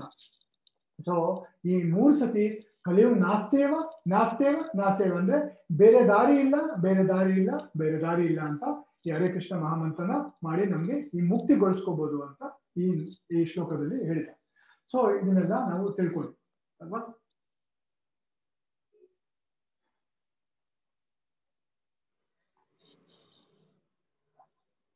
ಸೊ ಇದರಲ್ಲಿ ಆತ್ಮ ಸಾಕ್ಷಾತ್ಕಾರ ಹೊಂದಿರೋರು ಮತ್ತು ಇದು ಇದು ಎರಡು ವ್ಯತ್ಯಾಸ ಏನಿದೆ? ಸೊ ಆತ ಆತ್ಮ ಸಾಕ್ಷಾತ್ಕಾರ ಅಂದ್ರೆ ಸೆಲ್ಫ್ ರಿಯಲೈಸೇಷನ್ ಮತ್ತೆ ಭೌತಿಕ ಪ್ರಪಂಚದಲ್ಲಿ ಅಂದ್ರೆ ಅವರು ಹೇಗೆ ಇರ್ತಾರೆ ಅನ್ನೋದು ಎರಡು ವ್ಯತ್ಯಾಸ ಇದೆ. ಸೊ ಇದರಲ್ಲಿ ಒಂದು ಒಂದು ಚಿಕ್ಕದೊಂದು ಒಂದು ಸ್ಟೋರಿ ನಾವು ಕೇಳ್ಬೋದು ಇದರಲ್ಲಿ ವೇದಗಳಲ್ಲಿ ಕೊಟ್ಟಿರೋದು. ಅರ್ಜುನ ಇಂದ್ರಲೋಕಕ್ಕೆ ಹೋಗ್ತಾನೆ. ಯಾಕೆ? ಒಂದು ಶಸ್ತ್ರ, ಶಸ್ತ್ರವನ್ನು ಅವನು ಪಡೆಯಲಿಕ್ಕೆ ಇಂದ್ರಲೋಕವನ್ನು ಹೋಗ್ತಾನೆ. ಸೊ ಆ ಇಂದ್ರಲೋಕದಲ್ಲಿ ಹೋದಾಗ ಅಲ್ಲಿ ಮೇನಕ, ಅಪ್ಸರ ಇಂಥವರೆಲ್ಲ ಇರ್ತಾರೆ. ಈ ಭೌತಿಕ ಪ್ರಪಂಚದಲ್ಲಿ ಏನು, ಏನೋ ಬ್ಯೂಟಿ ಅಂತ ಇರ್ತಾರೋ, ಏನೇನೋ ಕಾಂಟೆಸ್ಟ್ಗಳಿರ್ತಾರೋ ಅದರಲ್ಲಿ ಸಾವಿರ ಪಟ್ಟು ಹೆಚ್ಚು ಅವರು ತುಂಬಾ ಸುಂದರವಾಗಿರ್ತಾರೆ. ಆದ್ರೆ ಅರ್ಜುನ ಅಲ್ಲಿ, ಆ, ಅಲ್ಲಿ ಅವನು ಇದನ್ನ ಶಸ್ತ್ರವನ್ನು ಪಡೆಯೋದಕ್ಕೆ ಹೋಗ್ತಾನೋ, ಅವನು ಇಂದ್ರಲೋಕಕ್ಕೆ ಹೋಗ್ತಾನೋ, ಅಲ್ಲಿ ಎಲ್ಲಾ ತರದ್ದು ಇಂದ್ರ ತುಟ್ಟಿರುತ್ತೆ ಆದ್ರೆ ಅವನು ವಿಚಿತ್ರನಾಗೋದಿಲ್ಲ ಅಲ್ಲಿ ಹೋದಾಗ. ಅವನು ಅದರಿಂದ ಮಾಡೋದಿಲ್ಲ ಕೆಲಸಗಳು. ಆದ್ರೆ ಅದೇ ರೀತಿಯಲ್ಲಿ ಯಾವಾಗ, ಯಾಕೆಂದ್ರೆ ಕೃಷ್ಣನ ಆಜ್ಞೆ ಅವನು ಪಡೆದಿರ್ತಾರೆ. ಅವನು ಕೃಷ್ಣನ ಒಂದು ಶಿಷ್ಯ. ಅರ್ಜುನ. ಅದೇ ರೀತಿಯಲ್ಲಿ ಆದ್ರೆ ವಿಶ್ವಾಮಿತ್ರ ಅವನು ಯಾವಾಗ ಒಂದು ಆ ಮೇನಕೆದು ಅವನು ಎಷ್ಟು ತಪಸ್ ಮಾಡಿರ್ತಾನೆ. ಎಷ್ಟೋ ವರ್ಷ, ಸಾವಿರಾರು ವರ್ಷ ಅವನು ತಪಸ್ ಮಾಡಿರ್ತಾನೆ. ಆದ್ರೆ ಆ ತಪಸ್ ಮಾಡಿದಾಗ ಅವನು ಮೇಲಕ್ಕಿದ ಒಂದು ಗೆಜ್ಜೆ ಶಬ್ದ ಮಾಡಿದಾಗ ಅವನು ವಿಚಲಿತನಾಗ್ಬಿಡ್ತಾನೆ. ಆ, ಇದಕ್ಕೆ ಅವನು, ಆ ಏನಾಗುತ್ತೆ ಒಂದು ಇದನ್ನ ಭಂಗ ಆಗತ್ತೆ. ಅವನು ಇದನ್ನು. ಸೊ ಇದನ್ನ ನಾವು ಆತ್ಮ ಸಾಕ್ಷಾತ್ಕಾರ ನಾವು ಹೊಂದ್ಬೇಕಾದಾಗ ನಾವೇನ್ ಮಾಡ್ತೇವೆ? ಕೃಷ್ಣನ ಒಂದು ಆಜ್ಞೆ ಮಾಡಿದಾಗ ನಮಗೆ ಈಸಿಯಾಗಿ ನಾವು ಅದನ್ನ ನಿಯಂತ್ರಿಸ್ಬೋದು ಅಂತ ನಾವು ಹೇಳ್ಬೋದು. ಯಾಕಂದ್ರೆ ಒಂದು ಹೋಲಿಕೆ ಏನಾಗುತ್ತೆ, ಯಾವಾಗ ನಾವು ಆರ್ಟಿಫಿಷಿಯಲ್ ಆಗಿ ನಾವು ನಾವು ತ್ಯಜಿಸಕ್ ಆಗೋದಿಲ್ಲ ಈ ಭೌತಿಕ ಪ್ರಪಂಚದಲ್ಲಿ. ಅದರಲ್ಲಿ ಒಂದು ಹೋಲಿಕೆ ಏನಿದೆ, ಒಂದು ಋಷಿಮುನಿಗಳಿರ್ತಾರೆ ಆ ಋಷಿಮುನಿಗಳು ಒಂದು ತಪಸ್ ಮಾಡ್ತಾ ಇರ್ತಾರೆ. ಆ ತಪಸ್ ಮಾಡ್ದಾಗತ್ತೆ ಎಷ್ಟೋ ಒಂದು ಅವ್ರಿಗೆ ಆಕರ್ಷಣೆ ಆಗ್ತಾ ಇರುತ್ತೆ, ಅವ್ರಿಗೆ ಇದು ಮಾಡೋಕ್ಕಾಗಲ್ಲ ಅವಾಗ ಆ, ಒಬ್ಬ ಬರ್ತಾರೆ ಅವರು ನನಗೆ ತುಂಬಾ ಈ ಬೇರೆ ಬೇರೆ ಇದೆಲ್ಲ ಆಕರ್ಷಣೆ ಆಗ್ತಾ ಇದೆ ಅಂತ ಹೇಳಿ. ಯಾಕೆಂದ್ರೆ ಕೃಷ್ಣನ ಒಂದು ಶರಣಾಗತಿ ಆಗಿರೋದು. ಅವಾಗ ಏನಾಗುತ್ತೆ? ಅವರು ನಾನು ಹೇಳ್ತಾನೆ, ಕೊನೆಗೆ ನಾನು ನೀರು ಒಳಗಡೆ ಹೊಟ್ಟೋಗ್ತೀನಿ ಅವಾಗ ನನ್ನ ಯಾರು ಡಿಸ್ಟರ್ಬ್ ಮಾಡೋದಕ್ಕಾಗಲ್ಲ ಅಲ್ಲಿ ನಾನು ನನ್ನ ಇದನ್ನ ನಾನು ಮುಂದೆ ಒರೆಸ್ಬೋದು ಅಂತ ಹೋಗ್ತಾರೆ. ಸೊ ಕೆಳಗಡೆ ಹೋಗ್ತಾರೆ. ನೀರಿನಲ್ಲಿ ಅವರು ಕೂತ್ಕೊಂಡು ಅವರ ಜಪಾನ್ ಏನೋ ಮಾಡ್ತಾ ಇರ್ತಾರೆ. ಅವಾಗ ಎರಡು ಮೀನುಗಳು ಹೋಗಬೇಕು ಒಂದು ಗಂಡು ಮೀನು, ಒಂದು ಹೆಣ್ಣು ಮೀನು. ಇದನ್ನ ನೋಡಿದಾಗ ಅವರು ಅವರ ಪ್ರಜ್ಞೆ, ಅವರ ಇದನ್ನ ಅವರು ಅಸ್ತವ್ಯಸ್ತ. ಇದನ್ನ ನೋಡಿ ಅವರ ಪ್ರಜ್ಞೆ ಒಂದು ವಿಚಿತನಾಗಿ ಅವ್ರನ್ನ ಅವರು, ಅವ್ರ ತಿರ್ಗಾ ಅವ್ರದ್ದು ಇದು ಬಂಗಾರ ಸೊ ಇದ್ರಲ್ಲಿ ಏನ್ ಹೇಳ್ತೀನಿ ಅಂತಂದ್ರೆ ನಾವು ಯಾವ ಋಷಿಕೇಶ ಋಷಿಕೇನ ಸೇವೆ.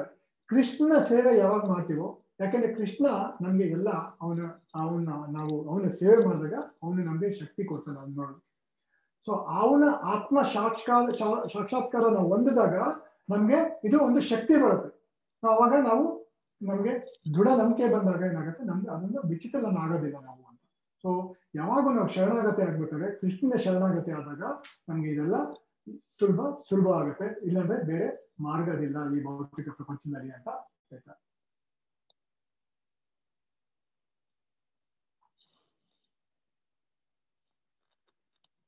ಸೊ ಕೃಷ್ಣ ಏನೇನು ಹೇಳ್ತಾರೆ ಕೃಷ್ಣ, ಆದೇಶವನ್ನು ಅರ್ಜುನಿಗೆ ಏನ್ ಹೇಳ್ತಾನೆ? ಭಗವದ್ಗೀತೆಯಲ್ಲಿ ತ್ರೈಗುಣ್ಯ ವಿಷಯ ವೇದ, ನಿಸ್ತ್ರೈಗುಣ್ಯ, ನಿಸ್, ನಿಸ್ತ್ರೈಗುಣ್ಯ ಭವಾರ್ಜುನ ನಿರ್ದ್ವಂದ್ವ. ಆ- ಆ- ಆ-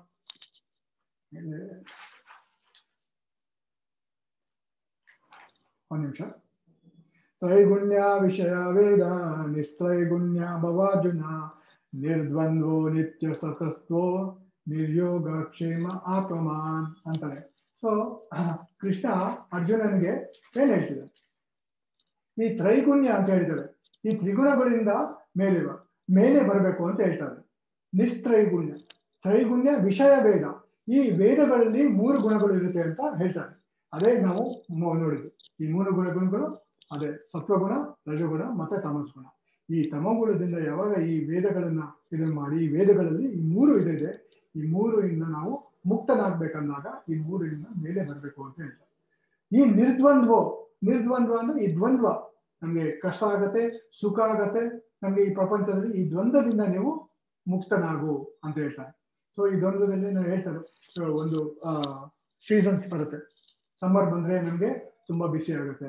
ವಿಂಟರ್ ಬಂದ್ರೆ ತುಂಬಾ ಚಳಿ ಆಗುತ್ತೆ. ಅಥವಾ ಒಂದು ಮಹಿಳೆ ಒಂದು ಇದ್ರಲ್ಲಿ ಕಿಚನ್ ಅಲ್ಲಿ ಕೆಲಸ ಮಾಡ್ತಿರ್ಬೇಕಾದ್ರೆ ಆಗುತ್ತೆ ಅದಕ್ಕೆ ತುಂಬಾ ಬಿಸಿ ಆಗುತ್ತೆ. ಆದ್ರೆ ಅವರು ಸಹನೆ ಇರುತ್ತೆ.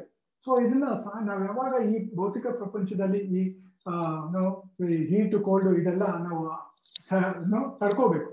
ತಡ್ಕೊಂಡಾಗ ಏನಾಗುತ್ತೆ? ನಾವು ಇದರಿಂದ ಯಾಕಂದ್ರೆ ಈ ಭೌತಿಕ ಪ್ರಪಂಚದಲ್ಲಿ ಎಲ್ಲಾನು ಪ್ರಾಬ್ಲಮ್ ಇದೆ.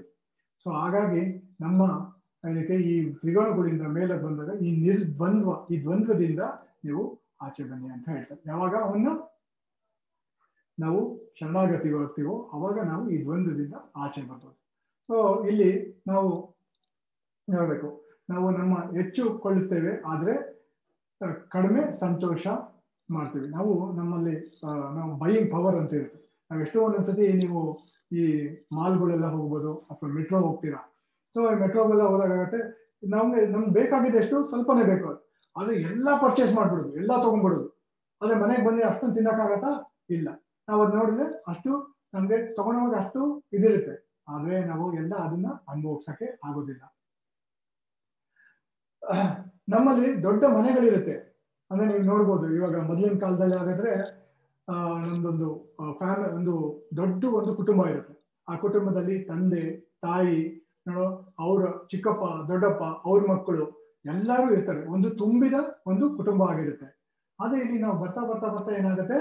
ಒಂದು ತಂದೆ ತಾಯಿ, ಅಪ್ಪ, ಅಮ್ಮ ಅಷ್ಟೇ ಇರ್ತಾರೆ. ಆಮೇಲೆ ಇನ್ನೂ ಬರ್ತಾ ಬರ್ತಾ ಏನಾಗುತ್ತೆ? ಬರೀ ಗಂಡ, ಹೆಂಡತಿ. ಇವಾಗ ಏನಾಗಿದೆ? ಗಂಡ, ಹೆಂಡತಿ ಇಬ್ರು ಜೊತೆಗಿದ್ರೆ ಅಷ್ಟೇ ಸಾಕು. ಅದೇ ಒಂದು ದೊಡ್ಡ ಕುಟುಂಬ ಆಗ್ಬಿಟ್ಟಿದೆ. ಸೊ ಆದ್ರೆ ದೊಡ್ಡ ದೊಡ್ಡ ಮನೆಗಳಿರ್ತವೆ. No three B H K four B H K ಎಲ್ಲ ಇರುತ್ತೆ. ನಾಲ್ಕು ಬೆಡ್ರೂಮ್ ಐದು ಬೆಡ್ರೂಮ್ ದೊಡ್ಡ ದೊಡ್ಡ ಅಪಾರ್ಟ್ಮೆಂಟ್ ತಗೋತಾರೆ. ಅದೇ ಇರೋದು ಇಬ್ರೆ, ಗಂಡ, ಹೆಂಡತಿ. ಎಷ್ಟು ದೊಡ್ಡ ಮನೆ ಆದ್ರೂ ತುಂಬಿದ ಕುಟುಂಬ ಇರೋದಿಲ್ಲ ಅಲ್ಲಿ. ಸೊ ಇದೆಲ್ಲ ನಾವು ನಾವು ನಿಜವಾಗ್ಲೂ ಪರಿಗಣಿಸ್ಬೇಕು ನಾವು ಇವೆಲ್ಲ ಅಲ್ವೇ? ಸೊ ಅದರಲ್ಲೂ ಕೂಡ ಗಂಡ ಹೆಂಡತಿ ಕೆಲಸ ಹೋದಾಗ ಗಂಡ ಹೆಂಡತಿ ನೋಡೋಕ್ಕಾಗಲ್ಲ, ಹೆಂಡತಿ ಗಂಡ ನೋಡೋಕ್ಕಾಗಲ್ಲ, ಬೆಳಗ್ಗೆ ಹೋದ ರಾತ್ರಿ ಬರ್ತಾರೆ. ಆದ್ರೆ ದೊಡ್ಡ ಮನೆ, ಮತ್ತೆ ಕುಟುಂಬ ಚಿಕ್ಕದು. ಆದ್ರೆ ಆಗಿನ ಕಾಲದಲ್ಲಿ ಏನಾಗುತ್ತೆ ನಮ್ಮ ಇದರಲ್ಲಿ? ಮನೆ ಚಿಕ್ಕದಾದ್ರೂ ಕೂಡ ತುಂಬಿದ ಕುಟುಂಬಗಳು. ಸೊ ನಮ್ಗೆ ಹೆಚ್ಚು ಜ್ಞಾನ ಒಂದು ಹೊಂದಿರುತ್ತೆ. ಆದ್ರೆ ನಾವು ವಿವೇಕತನ ನಮ್ಗೆ ಇರೋದಿಲ್ಲ. ಆದ್ರೆ ನಮ್ಮಲ್ಲಿ ನಮ್ಗೆ ಇಲ್ಲಿ ನೋಡ್ಬೇಕಾದ್ರೆ ಈ ಕರೋನಾ ಪ್ಯಾಂಡಮಿಕ್ ಏನ್ ಬಂದಿದೆಯೋ ಅದು ನೋಡ್ಬೇಕಾದ್ರೆ ದೊಡ್ಡ ದೊಡ್ಡ ಆಸ್ಪತ್ರೆ, ಎಲ್ಲ ಆಸ್ಪತ್ರೆ ವೆಂಟಿಲೇಟರ್ಸು ಅದು ಇದು ಎಲ್ಲ ಇದೆ. ಸೊ ಎಲ್ಲ ಸ್ಕ್ಯಾನಿಂಗ್ ಮಷಿನ್ ಅಂತೆ, ಆ ಮಷಿನ್ ಎಲ್ಲ ಇರುತ್ತೆ. ಆದ್ರೆ ಯಾವುದಕ್ಕೂ ಪರಿಹಾರ ಸಿಗ, ಸಿಗೋದು ಕಷ್ಟ. ಅದೇ ಕಡ್- ಕಡಿಮೆ ಆರೋಗ್ಯ. ನಮ್ಗೆ ಇಷ್ಟೆಲ್ಲ ನಮ್ಗೆ ಫೆಸಿಲಿಟಿ ಇದ್ದು ಇಷ್ಟು ದೊಡ್ಡ ದೊಡ್ಡ ಆಸ್ಪತ್ರೆಗಳಲ್ಲೇ ಇದ್ರು ಜನ ಸಾಯ್ತಾರೆ. ಆದ್ರೆ ಆರೋಗ್ಯನೂ ಕಡಿಮೆ ಇರುತ್ತೆ. ಸೊ ನಮ್ಮ ಜೀವನ ಶೈಲಿ ನಮ್ದು ಅಷ್ಟೇ ಇರುತ್ತೆ. ಆದ್ರೆ ನಮ್ಮ ಲೈಫು ನಮ್ಗೆ ನೋಡ್ಬೇಕಾದ್ರೆ ನಮ್ಗೆ ಹಂಗ್ ಮಾಡ್ಬೇಕು, ಹಿಂಗ್ ಮಾಡ್ಬೇಕು ಅಂತ ಎಲ್ಲ ಬಾಯಲ್ಲಿ ನೋಡ್ತೀವಿ ಆದ್ರೆ ನಾವು ಅದ್ರ ಪ್ರಕಾರ ನಡ್ಕೊಳ್ಳೋದಿಲ್ಲ. ಸೊ ಇದನ್ನೆಲ್ಲ ನಾವು ಪರಿಗಣಿಸಬೇಕು. ಸೊ ನಾನು ಹೇಳ್ದಂಗೆ ಮೊದಲೇ ಈ ಹರೇ ಕೃಷ್ಣ ಮಹಾಮಂತ್ರ ಈ ಕಲಿಯುಗಕ್ಕೆ ತುಂಬಾ ವಾದ, ತುಂಬಾ ಮುಖ್ಯ. ಸೊ ಎಲ್ಲರೂ ಒಂದ್ಸತಿ ಈ ಒಂದು ಬಾರಿ ಹರಿಕೃಷ್ಣ ಮಹಾಮಂತ್ರ ಹೇಳಿ, ಪರವಾಗಿಲ್ಲ ಅನ್ಮ್ಯೂಟ್ ಮ್ಯೂಟ್ ಮಾಡ್ಕೊಂಡಿದ್ರು ಪರವಾಗಿಲ್ಲ. ನನ್ನೊಂದಿಗೆ ಹೇಳಿ. ಹರೇ ಕೃಷ್ಣ ಹರೇ ಕೃಷ್ಣ. ಕೃಷ್ಣ ಕೃಷ್ಣ ಹರೇ ಹರೇ ಹರೇ ರಾಮ ಹರೇ ರಾಮ ರಾಮ ರಾಮ, ಹರೇ ಹರೇ. ಇತಿ ಷೋಡಕ್ಷರ ನಾಮ್ನ ಕಲಿಕಲ್ಮಶನಾಶನ ಮಾತರ ಪರತುರಾಪಾಯ ಸರ್ವ ವೇದೇಶು ದೃಶ್ಯತೆ ಸೊ ಈ ಹರೇ ಕೃಷ್ಣವನ್ನು ಡೈಲಿ ಜಪಿಸಿ ಜಪಿಸಿ, ನಿಮ್ಗೆ ಯಾವಾಗ ಸಮಯ ಆಗುತ್ತೋ, ಯಾವಾಗ ಟೈಮ್ ಸಿಗುತ್ತೋ ನಿಮ್ಗೆ ಹರೇ ಕೃಷ್ಣ ಮಹಾಮಂತ್ರ, ಒಂದು ಮಾಲೆ ಜಪ ಅಂತೂ, ನೂರ ಎಂಟು ನಾಮ ಜಪ ಅಂತೂ ನೀವು ಮಾಡ್ಬೋದು. ಸೊ ದಯವಿಟ್ಟು ಹರೇ ಕೃಷ್ಣ ಮಹಾಮಂತ್ರ ಜಪವನ್ನು ಮಾಡಿ. ಇಲ್ಲಿಗೆ ಇವತ್ತಿನ ಕಾರ್ಯಕ್ರಮ ಮುಗಿಸೋಣ. ಏನನ್ನ ಪ್ರಶ್ನೆ ಇದ್ರೆ ತಾವು ಆ, ಕೇಳಬಹುದು.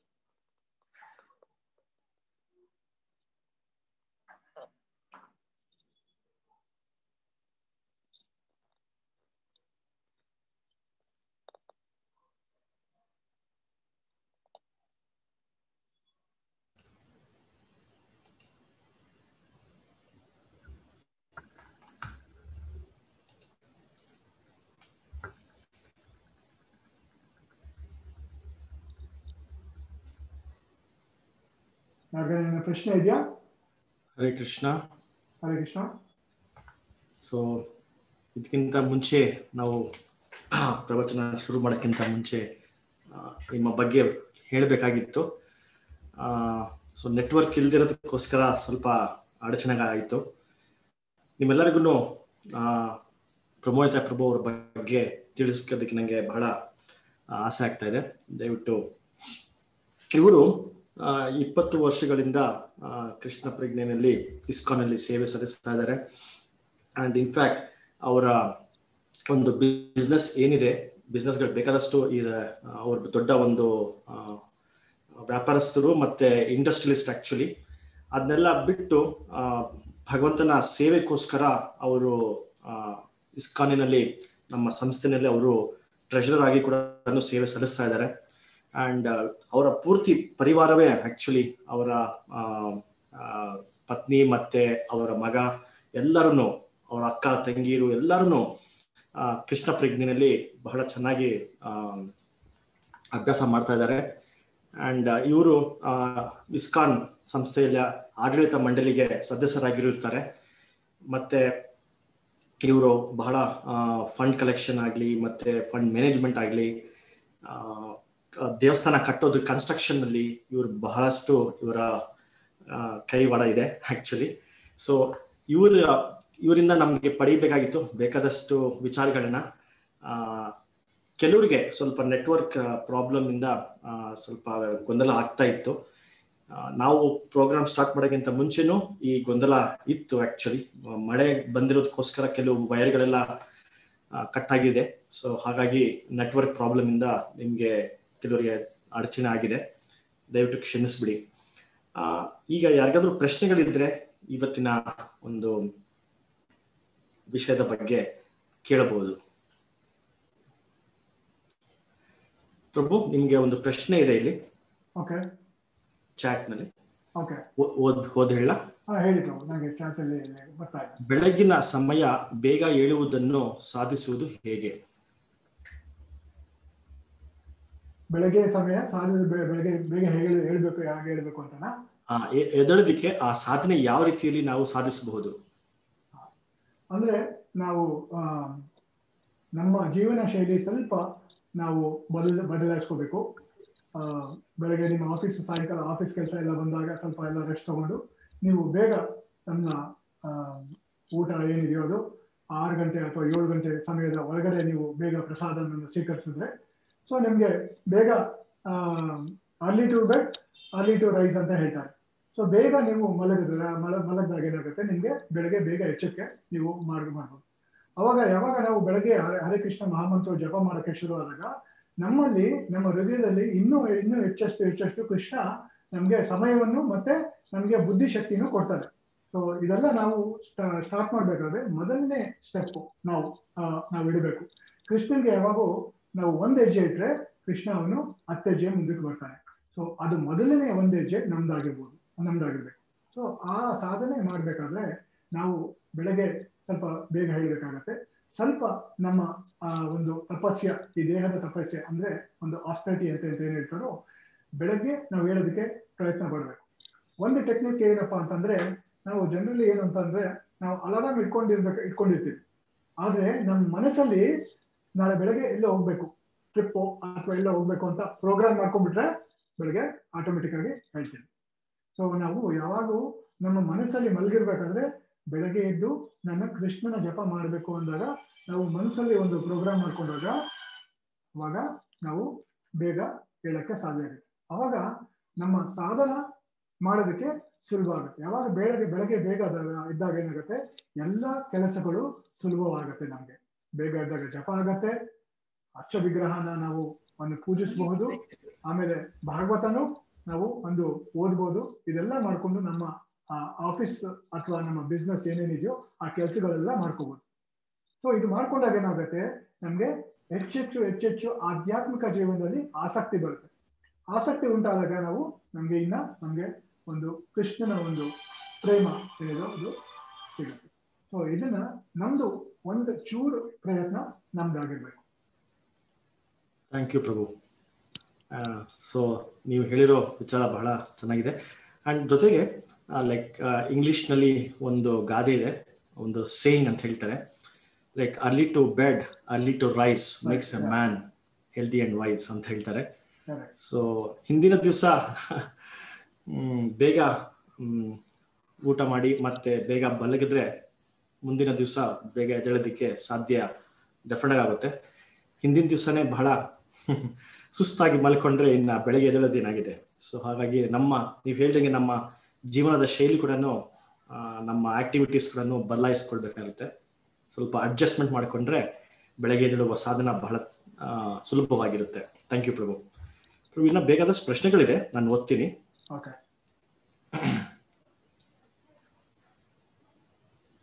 ಸತ್ಯಲೋಕ ಹಾಗೂ ವೈಕುಂಠ ಎರಡು ಒಂದೇನಾ? ಇಲ್ಲ. ಸತ್ಯಲೋಕ ಮತ್ತೆ ವೈಕುಂಠ ಬೇರೆ ಬೇರೆ. ಅದೇ ಸತ್ಯಲೋಕ ಅಂದ್ರೆ ನಾನು ಹೇಳಿದ್ರೆ ಅದು ಬ್ರಹ್ಮಲೋಕ. ಆ ಬ್ರಹ್ಮ ಭುವನ ಲೋಕ ಪುನರಾವರ್ತಿನೋ ಅರ್ಜುನ. ಈ ಭೌತಿಕ ಪ್ರಪಂಚದಲ್ಲಿ ಯಾವುದೇ ಲೋಕಕ್ಕೆ ಹೋದ್ರೂ ನಾವು ಪುನರ್ ಪುನರ್ ಇಲ್ಲಿ ನಾವು ಈ ಭೌತಿಕ ಪ್ರಪಂಚದಲ್ಲಿ ಬರ್, ಬರ್ಬೇಕಾಗತ್ತೆ. ಆದ್ರೆ, ಆ, ವೈಕುಂಠ ಲೋಕಕ್ಕೆ ನಾವು ಹೋದಾಗ ನಾವು ಈ ಭೌತಿಕ ಪ್ರಪಂಚಕ್ಕೆ ಬರೋದಿಲ್ಲ. ಸತ್ಯಲೋಕನೇ ಬೇರೆ ಅಥವಾ ಬ್ರಹ್ಮಲೋಕನೇ ಬೇರೆ ಅಥವಾ ವೈಕುಂಠನೇ ಬೇರೆ. ವೈಕುಂಠ ಅದು ವೈಕುಂಠಕ್ಕೆ ಹೋದಾಗ ಅಲ್ಲಿ ವಿಷ್ಣುನ ಒಂದು ಇದಾಗ ಕೃಷ್ಣ ಏನಿರ್ತ ಅವನ ಒಂದು ಧಾಮ ಅದು. ಸೊ ಅದಕ್ಕಿಂತ ಮೇಲೆ ಗೋಲೋಕ ಬೃಂದಾವನ ಈ ವೈಕುಂಠ ಮತ್ತೆ ಈ ಗೋಲೋಕ ಬೃಂದಾವನ ಏನಿರುತ್ತೋ ಈ ಧಾಮಕ್ಕೆ ನಾವು ಹೋದಾಗ ನಾವು ಪುನರ್ ಇಲ್ಲಿ ಈ ಭೌತಿಕ ಪ್ರಪಂಚಕ್ಕೆ ಬರೋದಿಲ್ಲ ಥ್ಯಾಂಕ್ ಯು ಪ್ರಭು ಮತ್ತೆ ಈ ಉತ್ತರ ನಿಮಗೆ ಅರ್ಥ ಆಗಿದೆ ಅಂತ ಅನಿಸ್ತದೆ. ಇನ್ನೇನಾದರೂ ಪ್ರಶ್ನೆ ಇದ್ರೆ ಕೇಳ್ಬೋದು ಅದರ ಬಗ್ಗೆ. ನಮಗೆ ಯಾರಾದರೂ ಬೇಸರ ಉಂಟು ಮಾಡಿದರೆ ಪ್ರತಿಕ್ರಿಯಿಸದೆ ಹೇಗೆ ಇರಬಹುದು? ಇದು ಪ್ರತಿಕ್ರಿಯೆ ಮಾಡಬಾರ್ದು ಅಂತ ಏನಿಲ್ಲ. ಸೊ, ಅವರು ಯಾವ ಉದ್ದೇಶದಿಂದ ನಾವು ಮೇಲ್ ಮಾಡ್ತಾರೆ ಅಂತ. ಇಲ್ಲಿ ನಾವು ಭಗವದ್ಗೀತೆನಲ್ಲಿ ನೋಡ್ತಾ, ನೋಡಿ, ನೋಡಿರ್ಬೋದು. ಕೃಷ್ಣನ್ಗೆ, ಕೃಷ್ಣ ಅರ್ಜುನನ್ಗೆ ಯುದ್ಧ ಮಾಡು ಅಂತ ಹೇಳ್ತಾ ಇದ್ದಾರೆ ಅಲ್ವಾ? ಸೊ ಯುದ್ಧ ಯಾತಕ್ಕೆ ಮಾಡಬೇಕು ಅಂತ ಹೇಳ್ತಾನೆ? ಯುದ್ಧ ಧರ್ಮಕ್ಕೋಸ್ಕರ ನೀನು ಯುದ್ಧ ಮಾಡು ಅಂತ ಹೇಳ್ತಾನೆ. ಸೊ ಮೊದಲನೇದಾಗೆ ಇದರಲ್ಲಿ ಮೊದಲನೇ ಒಂದು ಚಾಪ್ಟರ್ ಅಲ್ಲಿ ಅರ್ಜುನ ಕ್ವಶನ್ಸ್ ಕೇಳ್ತಾ ಇದ್ದಾನೆ. ಏನಂತ ಕೇಳ್ತಾ ಇದ್ದಾನೆ? ನನ್ನ ಮುಂದೆ ನನ್ನ ಗುರು, ನನ್ನ ಅಣ್ಣ, ನನ್ನ ನನ್ನ ನನ್ನ ತಾತ, ಇವರು, ಇವರೆಲ್ಲ ಇದ್ದಾರೆ. ಇವ್ರ ಮುಂದೆ ನಾನು ಯುದ್ಧ ಹೇಗ್ ಮಾಡ್ಲಿ? ಇವರಿಂದ ಇವ್ರ ಮುಂದೆ ನನಗೆ ಮಾಡಕ್ಕೆ ಇಚ್ಛೆ ಕೂಡ ಇಲ್ಲ ಅಂತಾನೆ ಆ ಕೃಷ್ಣ ಹೇಳ್ತಾನೆ, ನೀನು ಯುದ್ಧ ಮಾಡಬೇಕು. ಯಾತಕ್ಕೋಸ್ಕರ ಯುದ್ಧ ಮಾಡಬೇಕು? ಧರ್ಮಕ್ಕೋಸ್ಕರ ಯುದ್ಧ ಮಾಡಬೇಕು.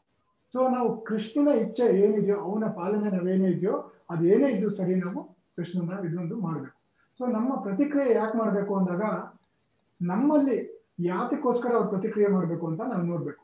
ನಮ್ಮ ಇದಕ್ಕೋಸ್ಕರ ನಾವೇನೋ ತಪ್ಪು ಮಾಡಿದ್ರು ಅಥವಾ ಇನ್ನೊಂದಕ್ಕೆ ಏನೋ ಪ್ರತಿಕ್ರಿಯೆ ನಾವು ಮಾಡ್ಬೇಕಂದ್ರೆ, ಧರ್ಮಕ್ಕೋಸ್ಕರ ಆದರೆ ನಾವು ಆ ಪ್ರತಿಕ್ರಿಯೆನ ನಾವು ಮಾಡಲೇಬೇಕಾಗತ್ತೆ. ಸೊ ಬೇರೆ ಏನಾರ ನಾವು ತಪ್ಪು ಮಾಡಿನೂ ನಾವು ಪ್ರತಿಕ್ರಿಯೆ ಮಾಡೋದು, ಅದು ತಪ್ಪಾಗತ್ತೆ ಅವಾಗ ಏನಾಗುತ್ತೆ, ಬೇರೆ ಏನಕ್ಕೋಸ್ಕರ ಅವ್ರು ನಮ್ಗೆ ಏನು ಬೈದಿರ್ತಾರೋ, ಅದು ಮನೆ ನೋಡ್ವಿ ನಮ್ಮ ಕರ್ಮ ಅನುಸಾರವಾಗಿ ನಮ್ಗೆ ಅವರು ನಮ್ಗೆ ತೊಂದರೆ ಮಾಡಿರ್ತಾರೆ. ನಾವು ಯಾಕಂದ್ರೆ ಬೇರೆಯವ್ರಿಗೆ ತೊಂದರೆ ಮಾಡಿರ್ತೀವಿ. ಸೊ ಆ ಕರ್ಮ ಅನುಸಾರಕ್ಕೋಸ್ಕರ ನಮಗೂ ತೊಂದರೆ ಆಗಿರುತ್ತೆ. ಆದ್ರೆ ಯಾವ್ದಕ್ಕೋಸ್ಕರ ಅಂತ, ಧರ್ಮದ ಕಾಲಕ್ಕೋಸ್ಕರ ಅಲ್ಲಿದ್ದಾಗ ನಾವು ಆ ಪ್ರತಿಕ್ರಿಯೆ ಮಾಡ್ಬೇಕಾಗುತ್ತೆ. ಫಾರ್ ಎಕ್ಸಾಂಪಲ್ ಭಕ್ತರು ಯಾರೋ ಆಗಿರ್ತಾರೆ, ಅವ್ರಿಗೇನೋ ತೊಂದರೆ ಆಗ್ತಾ ಇರುತ್ತೆ. ನಿಮ್ಮ ತಾಯಿ ತಂದೆ ಅವ್ರಿಗೆ ಇನ್ನೇನೋ ತೊಂದರೆ ಆಗ್ತಾರೆ ಯಾರೋ ಬಂದು ಇದು ಮಾಡ್ತಿರ್ತಾರೆ ಅವಾಗ ನಾವು ಪ್ರತಿಕ್ರಿಯಿಸೇ ಬರ್ತೇವೆ ಪ್ರತಿಕ್ರಿಯೆ ಮಾಡಲೇಬೇಕು ಅಲ್ವಾ? ಸೊ ಅದೇ ರೀತಿಯೇ ಅರ್ಜುನ ಕೃಷ್ಣನ್ಗೂ ಇದೇ ರಣರಂಗದಲ್ಲಿ ಹೇಳ್ತಾ ಇದ್ದಾನೆ ನೀನು ಯುದ್ಧ ಮಾಡು. ಯಾತಕ್ಕೋಸ್ಕರ? ಧರ್ಮಕ್ಕೋಸ್ಕರ ನೀನು ಯುದ್ಧ ಮಾಡು. ಥ್ಯಾಂಕ್ ಯು ಪ್ರಭು. ಇನ್ನೊಂದು ಪ್ರಶ್ನೆ.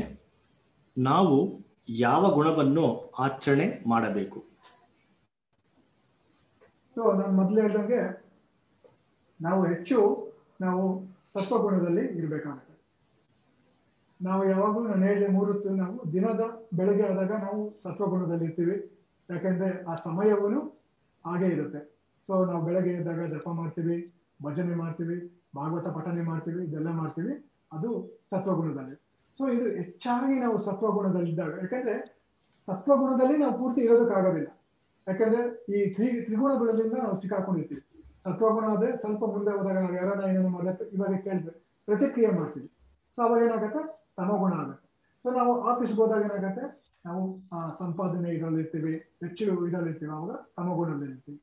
ಸೊ ಈ ಮೂರು ಗುಣದಲ್ಲಿ ನಾವು ಒಂದೊಂದು ಸ್ವಲ್ಪ ಇರ್ತೀವಿ. ಆದ್ರೆ, ನಾವು ಹೆಚ್ಚು ಸತ್ವಗುಣದಲ್ಲಿದ್ದಾಗ ಏನಾಗುತ್ತೆ? ರಜಸ್ ಮತ್ತೆ ತಮಸ್ಸು, ಇದು ಕಡಿಮೆ ಪ್ರಮಾಣದಲ್ಲಿ ಇರುತ್ತೆ ನಾವು ಯಾವಾಗ ನಮ್ಗೆ ಸತ್ವ ಗುಣ ಜಾಸ್ತಿ ಆಗ್ತಾ ಇದ್ದಂಗೆ ನಾವು ಶುದ್ಧ ಸತ್ವದಲ್ಲಿ ಹೋಗ್ತೀವಿ. ಅವಾಗ ನಾವು ಮೇಲೆ ಹೋಗಕ್ಕೆ ವೈಕುಂಠ ಲೋಕಕ್ಕೆ ಹೋಗಕ್ಕೆ ಸಾಧ್ಯ ಆಗುತ್ತೆ. ಥ್ಯಾಂಕ್ ಯು ಪ್ರಭು. ಇನ್ನೊಂದು ಪ್ರಶ್ನೆ ಇದೆ.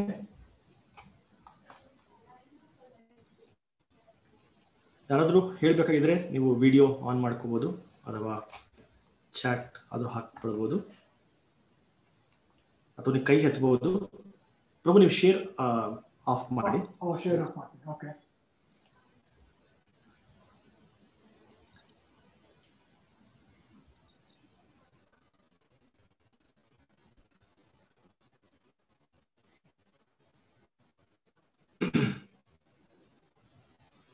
ಎಷ್ಟು ಜನ್ಮಗಳು ನಮಗೆ ಎದುರುತ್ತದೆ ಅಥವಾ ಇರುತ್ತದೆ ಅಂತ ಅನ್ಸುತ್ತೆ? ಇಂಗ್ಲಿಷ್ ಟೈಪ್ ಮಾಡಿದರೆ. ಅದು ಎಷ್ಟೋ ವರ್ಷ ನಮ್ಗೆ ಎಷ್ಟು ಜನ್ಮ ಇರುತ್ತೆ ಅಂತ ನಮ್ಗೆ ಗೊತ್ತಾಗೋದಿಲ್ಲ. ಯಾಕಂದ್ರೆ ಎಷ್ಟೋ ವರ್ಷದಿಂದ ಇದು ಕಾಲ ಉದ್ದಕ್ಕೂ ನಾವು ಈ ಜನ್ಮ ಇಲ್ಲಿ ತಾಳ್ತಾನೆ ಇರ್ತೀವಿ. ಸೊ ನಾವು ಎಲ್ಲ ನಮ್ಗೆ ನಾಲ್ಕ ಇದು ಕೃಷ್ಣನ ಅದು ಒಂದು ನಮ್ಮ ಮೇಲೆ ಏನ್ ಹೇಳ್ತಾರೆ, ಕರ್ಣ, ಕರುಣೆ ತೋರಿಸುತ್ತೆ. ಯಾಕಂದ್ರೆ ಎಲ್ಲ ನಮ್ಗೆ ನಾಲ್ಕ ಇದ್ರೆ ನಮ್ಗೆ ಅದು ತುಂಬಾ ತೊಂದರೆ ಆಗುತ್ತೆ. ನಿನ್ನೆ ಸೋಮಗೌಡ ಅವರೇ ಪ್ರಭು ಹೇಳ್ತಾ ಇದ್ರು. ನಮ್ಗೆ ಯಾರೋ ಹಿಂದಿನ ಜನ್ಮದಲ್ಲಿ ಯಾರೋ ನಮ್ಗೆ ಹೊಡಿತಾ ಇರ್ಬೇಕು ಅಥವಾ ಯಾವ್ದೋ ಒಂದು ಆಪರೇಷನ್ ಮಾಡ್ತಾ ಇರ್ಬೇಕು. ಇವೆಲ್ಲ ನಮ್ಗೆ ಜ್ಞಾಪಕ ಮಾಡ್ಕೊಂಡ್ಬಿಟ್ರೆ ನಮ್ಮ ಜೀವನ ಎಷ್ಟು ಇದಾಗುತ್ತೆ ಅಲ್ವಾ? ಎಷ್ಟು ಭಯಂಕರ ಆಗುತ್ತೆ ಅಲ್ವಾ? ಸೊ ಅದೇ ರೀತಿಯಲ್ಲಿ ನಾವು ಎಷ್ಟೋ ಜನ್ಮದಲ್ಲಿ ಜನ್ಮ ಜನ್ಮ ಅಂತ ನಾವು ಹುಟ್ಟು ಸಾವು ಹುಟ್ಟು ಸಾವು ಅಂತ ತಗೊಂಡಿರ್ತೀವಿ. ಅದು ಎಷ್ಟೇ ಅಂತ ಲೆಕ್ಕನೇ ಇರೋದಿಲ್ಲ ಅಂತ ಸೊ ಅದನ್ನ ನಾವು ಈ cycle of birth and death ಏನಿದೆ, ಅದನ್ನ ನಾವು ಸ್ಟಾಪ್ ಮಾಡಬೇಕು. ಅದನ್ನೇ ನಮ್ದು ಹೋಲ್ ಪ್ರೋಗ್ರಾಮ್ ಇದು ಮಾಡೋದು ಭಗವದ್ಗೀತೆ ಶ್ರೀಮದ್ ಭಾಗವತ ಮತ್ತೆ ಆಧ್ಯಾತ್ಮಿಕ ಜೀವನ.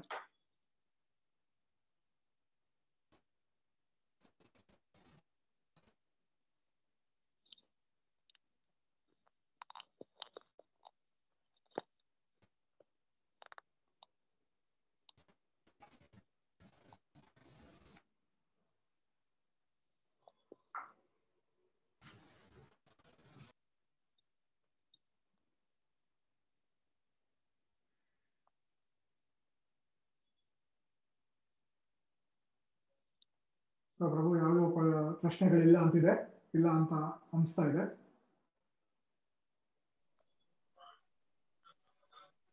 ಹರೇ ಕೃಷ್ಣ ಪ್ರಭುಜಿ ಇನ್ನೂ ಕ್ವಶನ್ಸ್ ಇದೆ ಚಾಟ್ ಬಾಕ್ಸ್ ಅಲ್ಲಿ. ನೀವು ನೋಡಿ ಓದ್ಬಿಟ್ಟು ಹೇಳ್ಬೋದು ಪ್ರಭು. ಶಿವಾತ್ಮ ಪ್ರಭು ನೆಟ್ವರ್ಕ್ ಪ್ರಾಬ್ಲಮ್ ಇಂದ ಲೀವ್ ಆಗಿದ್ದಾರೆ. ಹೌದು ಹೌದು. ಚಾಟ್ ಬಾಕ್ಸ್ ಅಲ್ಲಿ ನೋಡಿ ಪ್ರಭು ಕ್ವಶನ್ಸ್ ಇದೆ.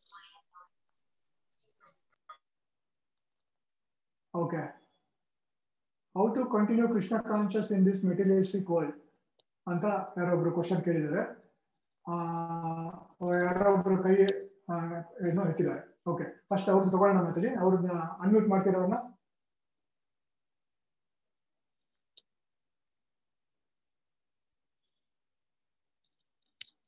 ಮಾತಾಜಿ ಅವ್ರನ್ನ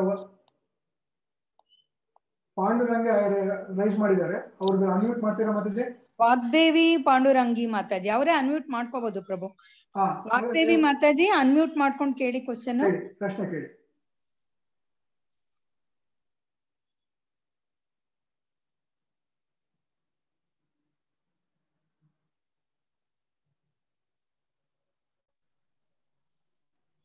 ಆ, ನಮಸ್ತೆ ಗುರುಜಿ ನಾನು ವಾಗ್ದೇವಿ ಅಂತ. ನನ್ನ ಕ್ವೆಶ್ಚನ್ ಬಂದು ಕೆಲವೊಬ್ರು ದೀರ್ಘಾಯುಷಿಗಳಾಗಿರ್ತಾರೆ ಲೈಕ್ ತೊಂಬತ್ತು ವರ್ಷ ಇರ್ತಾರೆ ನೂರು ವರ್ಷದ ಮೇಲೂ ಇರ್ತಾರೆ ಬಟ್ ಕೆಲವೊಬ್ರು ಮಾತ್ರ ಮೂವತ್ತು ವರ್ಷ ನಲ್ವತ್ತು ವರ್ಷ ಚಿಕ್ಕ ಏಜ್ ಅಲ್ಲೇನೆ ಇದ್ ಮಾಡ್ಬಿಡ್ತಾರಲ್ಲ. ಸೊ ಇದು ಮನುಷ್ಯನ ಆಯುಷ್ ಯಾವ್ದ್ರ ಹೇಗೆ ಇದು ನಿರ್ಧಾರ ಆಗುತ್ತೆ ಮತ್ತೆ ಇದು ಯಾಕೆ ಈ ತರ ಆಗುತ್ತೆ ಗುರುಜಿ? ಅದು ಎಲ್ಲಾನು ನಮ್ಮ ಕರ್ಮ ಅನುಸಾರವಾಗಿದ್ದರೆ ಇದಾಗುತ್ತೆ. ಕೆಲವರಿಗೆ ಅಂದ್ರೆ ಎಷ್ಟೋ ಜನ ಕೆಲವರು ಇದು ಇದ್ ಮಾಡಿ ಮಾಡಿರ್ತಾರೆ, ಆಧ್ಯಾತ್ಮಿಕ ಇದು ಮಾಡಿರ್ತಾರೆ. ಮತ್ತೆ ಅವ್ರ ಕೃಷ್ಣನ ಒಂದು, ಆ ಇದೇನಾಗಿರುತ್ತೆ ಇದನ್ನೆಲ್ಲ ಮಾಡ್ತಾ ಇರ್ತಾರಲ್ಲ, ಆ ಚಟುವಟಿಕೆಗಳೆಲ್ಲ ಮಾಡ್ತಾ ಇದ್ದಾಗ ಏನಾಗುತ್ತೆ, ಕೆಲವರು ಚೆನ್ನಾಗಿ ಅವನ್ನ ಕೃಷ್ಣನ ಸೇವೆ ಮಾಡಿದಾಗ ಕೆಲವರು ಅವರು ಬೇಗ ದೇಹನ ಬಿಡ್ತಾರೆ. ಯಾಕೆಂದ್ರೆ ಅವನ್ನ ಕೃಷ್ಣನ ಲೋಕದಲ್ಲಿ ಕರ್ಕೋಬೇಕು. ಮತ್ತೊಂದು ಎರಡನೇದೇನಾಗುತ್ತೆ, ನಮ್ಗೆ ಅದು ಯಾವಾಗ ಈ ಮನುಷ್ಯ ಜನ್ಮ ನಮ್ಗೆ ಗೊತ್ತಿರಲ್ಲ ಎಷ್ಟು ಜೀವನ ಇರ್ತದೆ ಅದೇ ಒಂದು ಗೊಂದಲ, ಅಲ್ವಾ? ಒಂದು, ಆ ಹತ್ತು ವರ್ಷ ಹತ್ತು ವಯಸ್ಸಲ್ಲಿ ಸಾಗ್ಬೋದು, ಅಥವಾ ಒಬ್ಬರು ಹುಟ್ಟದಲ್ಲೇ ಸಾಯ್ಬೋದು ಅಥವಾ ನಲ್ವತ್ತು, ತೊಂಬತ್ನಾಲ್ಕನೇ ಇಸ್ವಿನಲ್ಲಿ ಅಥವಾ ನೂರ ಇಸ್ವಿನಲ್ಲಿ ನಾವು ಸಾಯ್ಬೋದು ಒಬ್ಬ ಮನುಷ್ಯ ಮನೆ ಮನುಷ್ಯರು ಸಾಯ್ಬೋದು. ಅದು ಎಲ್ಲ ಅವನ ಕರ್ಮ ಅನುಗುಣವಾಗಿ ಅದು ಅವ್ರಿಗೆ, ಅವ್ರ ತಕ್ಕನಾಗೆ ಆಯುಷು ಇರುತ್ತೆ. ಸೊ ನಮ್ಗೆ ಯಾವ ರೀತಿ, ಯಾವುದು ಅಂತ ಅದು ಗೊತ್ತಾಗಲ್ಲ. ಅದೆಲ್ಲ ಕರ್ಮ ಅನು, ಅನುಗುಣವಾಗಿ ನಮ್ಮ ಆಯುಷ್ ಕೂಡ ಅದೇ ರೀತಿಯಲ್ಲಿ ಇರುತ್ತೆ ನಮ್ಗೆ.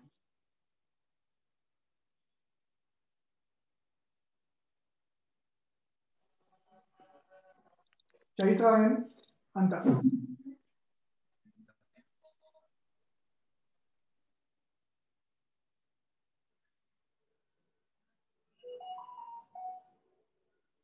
ಅನ್ಮ್ಯೂಟ್ ಹರೇ ಕೃಷ್ಣ ಮಾಡ್ಬೋದು ಚೈತ್ರ ಮಾತಾಜಿ ಅನ್ಮ್ಯೂಟ್ ಮಾಡ್ಕೊಂಡು ಕ್ವಶನ್ ಕೇಳ್ತೀರಾ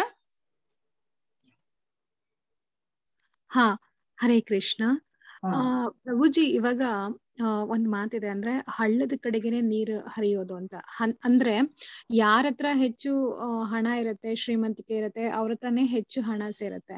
ಕೆಲವ್ರು ತುಂಬಾ ಕಷ್ಟಪಟ್ಟು ಕೆಲ್ಸ ಮಾಡ್ತಾರೆ ಅವ್ರ ಕೈಲಿ ಹಣನೇ ನಿಲ್ಲೋದಿಲ್ಲ. ಯಾಕೆ ಈ ತರ ಹಣದ ಅಭಾವ ಆಗಿರತ್ತೆ?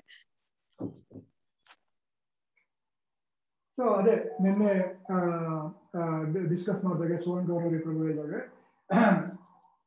ಒಂದು ಎರಡು ಪ್ರಶ್ನೆ ಅವರು ಎರಡು ಆನ್ಸರ್ ಹೇಳಿದ್ರು. ಯಾಕೆ ಒಳ್ಳೆ ಜನಕ್ಕೆ ಕೆಟ್ಟದಾಗುತ್ತೆ? ಯಾಕೆ ಒಳ್ಳೆ ಕೆಟ್ಟದ ಯಾಕೆ ಕೆಟ್ಟ ಜನಕ್ಕೆ ಅಂದ್ರೆ ಇದರ ಕೆಟ್ಟ ಜನಕ್ಕೆ ಒಳ್ಳೇದು ಕೂಡ ಆಗುತ್ತೆ. ಸೊ ನಾವು ಅದಕ್ಕೆ ಎಕ್ಸಾಂಪಲ್ ಏನಂತಂದ್ರೆ ಆ ಒಂದು ಕಣಜಾದು ಎಕ್ಸಾಂಪಲ್ ಹೇಳಿದ್ರು. ಆ ಕಣಜಾದಲ್ಲಿ ಆ, ಒಂದು ರೈತ ಒಂದು ಒಳ್ಳೆ ಧಾನ್ಯಗಳನ್ನು ಬೆಳೀತಾರೆ ಒಂದು ಮೊದಲನೇ ಇಯರ್ ಸೆಕೆಂಡ್ ಇಯರ್ ಏನಾಗುತ್ತೆ? ಒಂದು ಸುಮಾರಾಗಿರೋ ಬೆಳೆ ಬೆಳೆದಿರ್ತಾನೆ. ಥರ್ಡ್ ಇಯರ್ ಏನಾಗಿರುತ್ತೆ? ಅದು ಅಷ್ಟೊಂದು ಬೆಳೆ ಚೆನ್ನಾಗಿರಲ್ಲ. ಒಂದು ಕೆಟ್ಟ ಬೆಳೆ ಬಂದಿರುತ್ತೆ. ಸೊ ಈವಾಗ ನಾವು ಬೆಳೆದಿರೋದು ಕೆಟ್ಟ ಬೆಳೆ. ಅಲ್ಲಿ ನಾವು ಕಣಜ ಕೆಳಗಡೆ ಇರುತ್ತಲ್ಲ, ಅದೊಂದು ಇದು, ಅದರಿಂದ ಧಾನ್ಯ ತಗೋತೀವಿ. ಅರ್ಥ ಆಗತ್ತಾ? ಆ ಕಣಜ ಹೆಂಗಿರುತ್ತೆ? ಆ ಕಣಜಲ್ಲಿ one level two level three level ಈ ತರ ಮೂರ್ ಲೆವೆಲ್ ಇರುತ್ತೆ. ಮೂರ್ ಲೆವೆಲ್ ರೈತ ಒಂದೊಂದು ಧಾನ್ಯಗಳನ್ನು ಬೆಳೀತಾ ಇದ್ದಾಗ ಆಗ್ತಾ ಇರ್ತಾನೆ. ಆದ್ರೆ ನಾನು ಈ ವರ್ಷ ತುಂಬಾ ಕೆಟ್ಟ ಬೆಳೆ ಹಾಕಿದ್ದೀನಿ ಅದೇ ನಮ್ಗೆ ಬರೋದು ಕೆಳಗಡೆಯಿಂದ ತಗೊಂಡಾಗ ಒಳ್ಳೆ ಬೆಳೆ ಬರ್ತಾ ಇರ್ತದೆ ಅದೇ ರೀತಿಯಲ್ಲಿ ನಮ್ಮ ಕರ, ಕರ- ಕರ್ಮ ಹೇಗಿರುತ್ತೆ ಅಂತ ಅಂದಾಗ ನಾವು ಎಷ್ಟು ಯಾವ್ದೋ ಹಿಂದಿನ ಜನ್ಮದಲ್ಲಿ ತುಂಬಾ ಇದ್ದಾರೆ ಯಾವ್ದೊಂದು ಪುಣ್ಯ ಕಾಲ ಮಾಡಿರ್ತೀವಿ.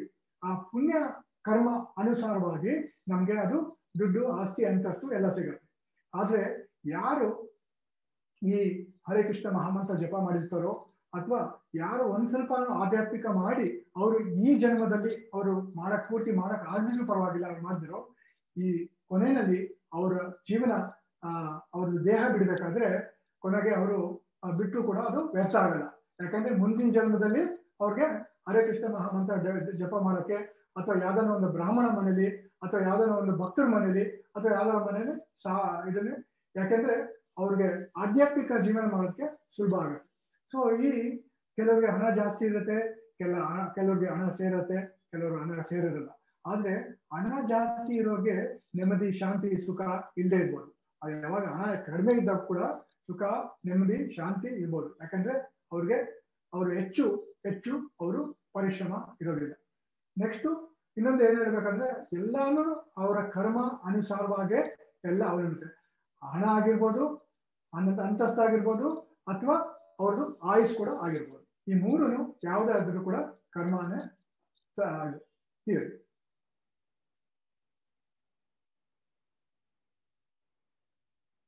ಆದ್ರೆ ನಮ್ಗೆ ಕೃಷ್ಣ ಪ್ರಜ್ಞೆಗೆ ಬಂದಾಗ ನಮ್ಗೆ ಏನಾಗುತ್ತೆ ಒಂದು ನಮ್ಗೆ ಒಂದು ಸಾವಿರ ರೂಪಾಯಿ ಅಥವಾ ಎರಡ್ ಸಾವಿರ ರೂಪಾಯಿ ನೋಟ್ ಇದ್ದಲ್ಲಿ. ಎರಡ್ ಸಾವಿರ ರೂಪಾಯಿ ನೋಟ್ ಇದ್ರೆ ಏನಾಗುತ್ತೆ ಅದರಲ್ಲಿ ಅದರಲ್ಲಿ ನೂರು ರೂಪಾಯಿ ಇರುತ್ತೆ, ಐವತ್ತು ರೂಪಾಯಿ ಇರುತ್ತೆ, ಒಂದು ರೂಪಾಯಿನೂ ಇರುತ್ತೆ. ಸೊ ನಮ್ಗೆ ಎಲ್ಲ ನಮ್ಗೆ ಸಿಗ್ದಂಗೆ, ಅದಕ್ಕೆ ಕೃಷ್ಣ ನಮ್ಗೆ ಯಾವಾಗ ಯಾವಾಗ ಏನೇನ್ ಬೇಕೋ ಆ ಸಮಯದಲ್ಲಿ ನಮ್ಗೆ ಕೊಡ್ತಾನೆ. ನಾವು ಅದನ್ನ ಚಿಂತೆ ಮಾಡೋದು ಬೇಕಾಗಿಲ್ಲ ಯಾಕಂದ್ರೆ ಅವನ ಭಕ್ತರಿಗೆ, ಅವನ್ ಕೃಷ್ಣನ್ಗೆ ಏನ್ ಬೇಕು ಅಂತ ಗೊತ್ತಿರುತ್ತೆ. ಆ ಟೈಮಲ್ಲಿ ಅವನು ಅದನ್ನ ಕೊಡ್ತಾನೆ. ಸೊ ನಾವು ಅದನ್ನ ಬಗ್ಗೆ ಹೆಚ್ಚು ನಾವೇನು ಚಿಂತೆ ಮಾಡಬೇಕಾಗಿಲ್ಲ. ಯಾವಾಗ ನಾವು ಆಧ್ಯಾತ್ಮಿಕ ಜೀವನಕ್ಕೆ ನಾವು ಬರ್ತೀವೋ, ಯಾವಾಗ ನಾವು ಒಂದು ಸ್ಟೆಪ್ ಮುಂದೆ ಇರ್ತೀವೋ, ಇದೆಲ್ಲ ನಮ್ಗೆ ಆನ್ಸರ್ ಸಿಗ್ತಾ ಹೋಗುತ್ತೆ. ನಮ್ಗೆ ಖುಷಿ, ಶ್ರಮ, ನೆಮ್ಮದಿ ಮತ್ತೆ ಈ ಆಸಕ್ತಿ ಇದೆಲ್ಲ ಬರುತ್ತೆ. ಆಮೇಲೆ ದುಡ್ಡು ಬರ್ಬೇಕಾದ್ರೂ ಬರುತ್ತೆ. ಬರ್ದೇ ಇರ್ಬೋದನ್ನು ನಮ್ಮ ಕರ್ಮಾನುಸಾರವಾಗಿ ಇರೋದಿಲ್ಲ.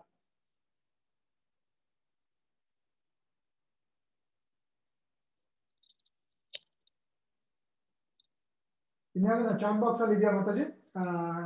ಕ್ವಶನ್ಸ್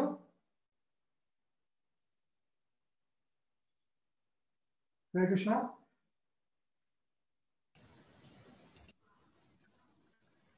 ಇಷ್ಟು ಪ್ರಶ್ನೆಗಳಿತ್ತು ಪ್ರಭು ಚಾಟ್ ಬಾಕ್ಸ್ ಅಲ್ಲಿ. ಹೌದಾ?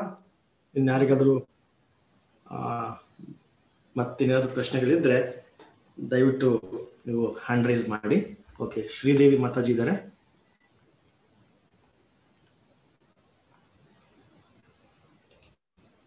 ಹಾ ಶ್ರೀದೇವಿ ಅವ್ರ ಮಾತಾಜಿ ಅವರೇ ಅನ್ವಿಟ್ ಮಾಡ್ಕೊಂಡು ಹೇಳ್ಬೋದು ನಿಮ್ ಪ್ರಶ್ನೆ ಕೇಳ್ಬೋದು.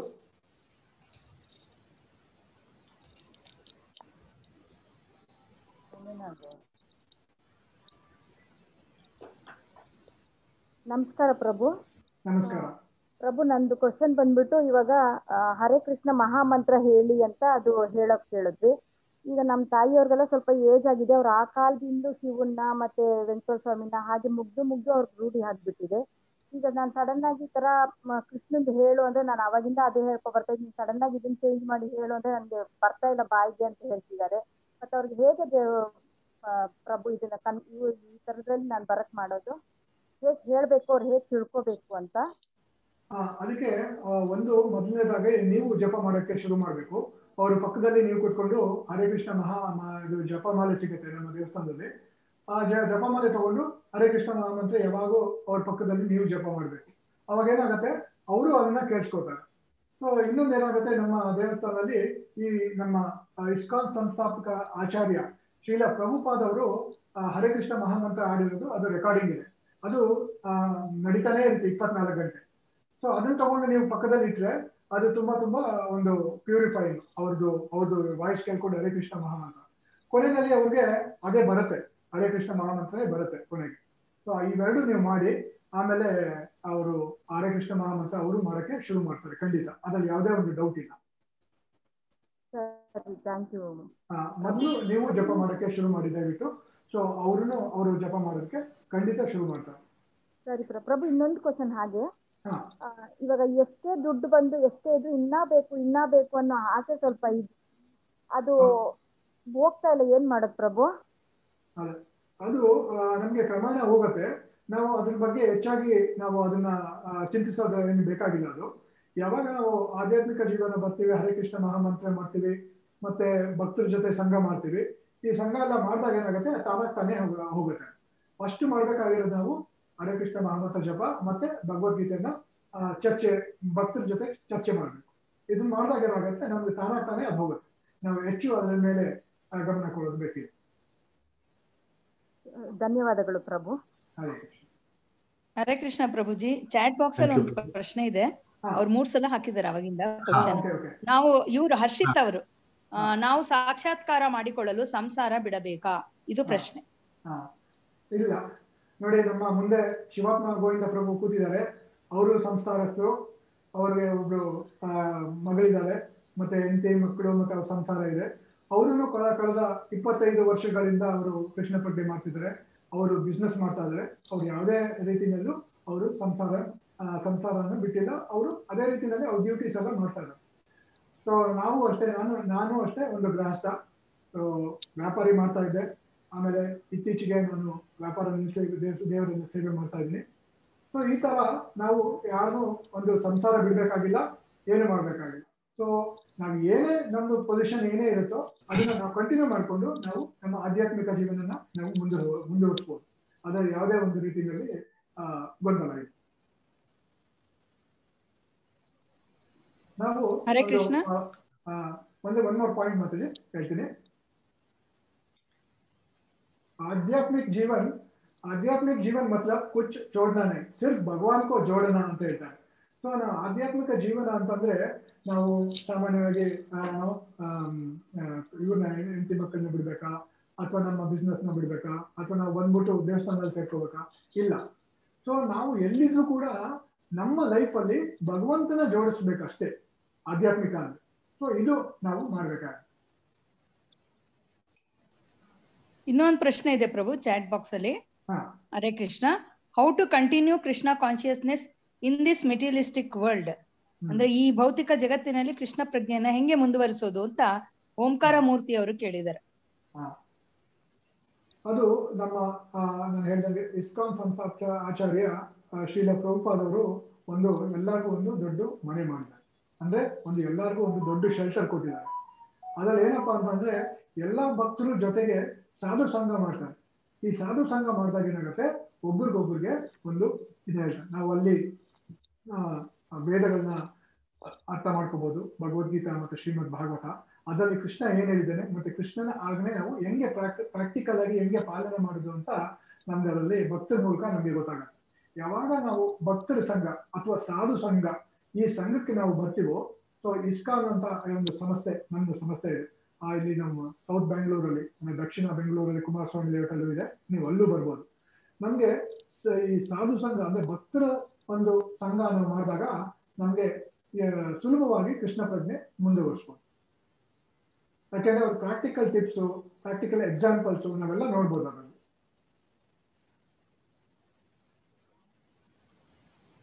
Thank you Prabhu and also ಈಗ ನಾವು ಈ ಪ್ರಪಂಚದಲ್ಲಿ ಬೇರೆ ಬದಲಾವಣೆ ಏನು ಮಾಡಬಹುದು ನಮ್ಮ ಕೃಷ್ಣ ಪ್ರಜ್ಞೆ ಮುಂದುವರ್ಸೋದಿಕ್ಕೆ ಅನ್ನೋದಕ್ಕೆ ಅದು ಬಹಳ ಮುಖ್ಯ ಆಗುತ್ತೆ ಅಲ್ವಾ ಪ್ರಭು? ಸೊ ನಮ್ಮ ಜೀವನ ಶೈಲಿ ಮತ್ತೆ ಬದಲಾಯಿಸ್ಬೇಕು. ಸ್ವಲ್ಪ ಅಡ್ಜಸ್ಟ್ಮೆಂಟ್ ಮಾಡ್ಕೊಂಡು ಹೋಗ್ಬೇಕು. ಇದಕ್ಕಿಂತ ಮುಂಚೆನೂ ಲೈಕ್ ಪ್ರಶ್ನೆ ಇತ್ತು. ಯಾವ ರೀತಿನಲ್ಲಿ ಲೈಕ್ ಹಣಕ್ಕೋಸ್ಕರ ನಾವು ಬಹಳ ಆಸೆ ಇಟ್ಕೊಂಡಿರ್ತೀವಿ ಅಂದ್ಬಿಟ್ಟು. ಸೊ ಯಾವುದೋ ಒಂದು ನಮಗೆ ರುಚಿ, ಒಂದು ಉತ್ತಮವಾದಂತಹ ರುಚಿ ನಮಗೆ ಸಿಗುತ್ತೋ ಕೆಳಮಟ್ಟ ಇರುವಂತಹ ರುಚಿನ ನಾವು ಬಿಟ್ಟು ಬಿಡ್ತೀವಿ. ಸೊ ಹಾಗೆ ನಾವು ಕೃಷ್ಣ ಪ್ರಜ್ಞೆಯಲ್ಲಿ ಕೆಲವು ರುಚಿಗಳನ್ನ ನಾವು ನಮ್ಗೆ ಸಿಕ್ಕಿದ್ರೆ, ಆ, ಸಿಗೋ ಹಾಗೆ ನಾವು ಮಾಡ್ಕೋಬೇಕು. ಮಾಡ್ಕೊಂಡ್ರೆ ಈ ಭೌತಿಕ ಪ್ರಪಂಚದ ಏನಂತ, ಏನ್ ರುಚಿಗಳಿದೆಯೋ ಅದನ್ನ ಬಿಡೋದಕ್ಕೆ ಬಹಳ ಸುಲಭ ಆಗುತ್ತೆ.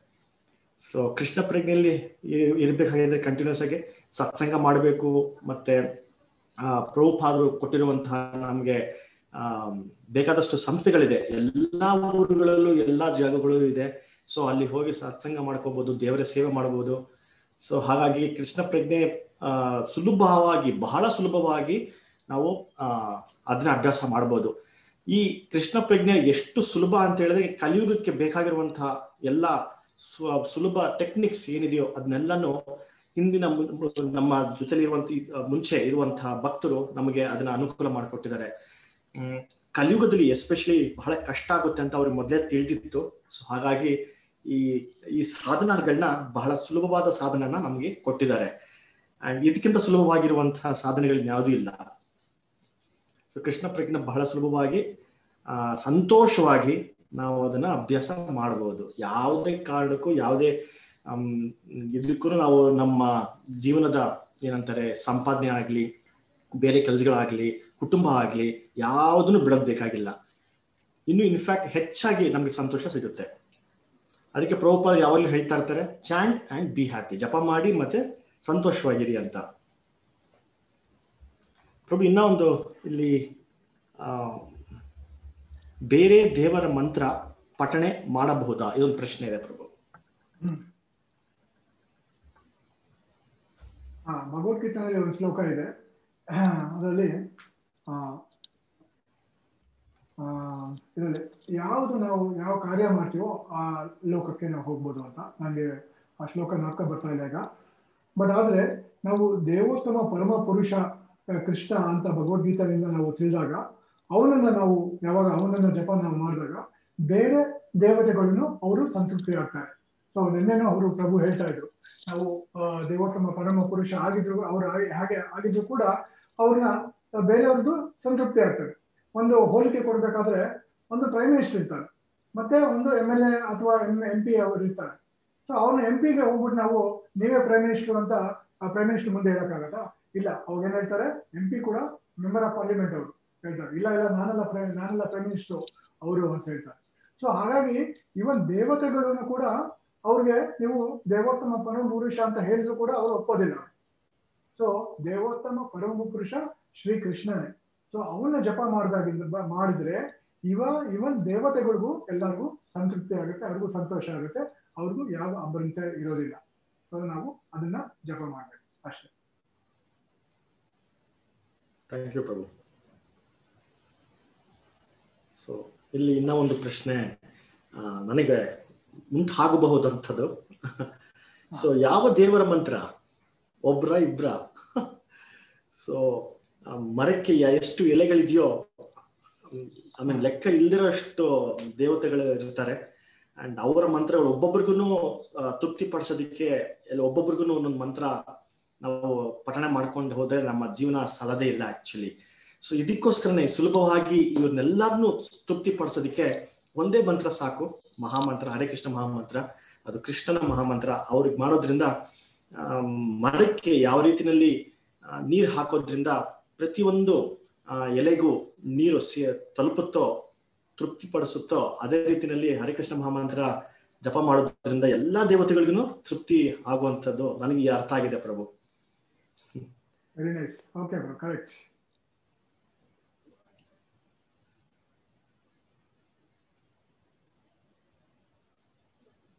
so ಒಂಬತ್ತು ಗಂಟೆ ಆಗ್ತಾ ಇದೆ ಪ್ರಭು. ಇನ್ಯಾರಿಗಾದ್ರೂ ಪ್ರಶ್ನೆಗಳಿದ್ದರೆ ನೀವು ವಾಟ್ಸಪ್ನಲ್ಲೂ ಮಾಡ್ಬೋದು. ವಾಟ್ಸಪ್ನಲ್ಲಿ ಪ್ರಶ್ನೆ ಹಾಕ್ಬೋದು.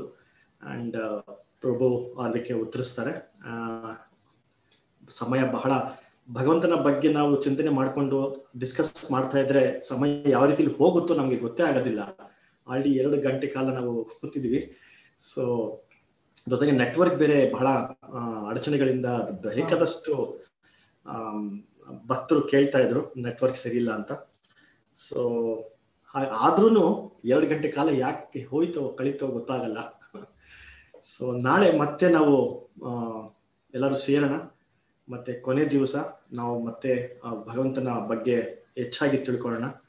ಸೊ ಇವತ್ತು ಪ್ರಕೃತಿ ಬಗ್ಗೆ, ಪ್ರಕೃತಿ ಯಾವ ರೀತಿಯಲ್ಲಿ ಅದು ಸೃಷ್ಟಿಯಾಗುತ್ತೆ, ಪ್ರಕೃತಿನಲ್ಲಿ ಮೂರು ಗುಣಗಳು ಮತ್ತೆ ಮೂರು ಕ್ಲೇಶಗಳು ಯಾವ ರೀತಿಯಲ್ಲಿ ಇರುತ್ತೆ, ನಮ್ಮನ್ನು ಯಾವ ರೀತಿಯಲ್ಲಿ ತೊಂದರೆ ಕೊಡುತ್ತೆ, ಮೂರು ಗುಣಗಳ ಆಹಾರ ಮೂರು ಗುಣಗಳ ಮನುಷ್ಯ ಮೂರು ಗುಣಗಳ ಬೇಕಾದಷ್ಟು ಆ ವಿಷಯಗಳನ್ನ ನಾವು ಇವತ್ತು ತಿಳ್ಕೊಂಡ್ವಿ.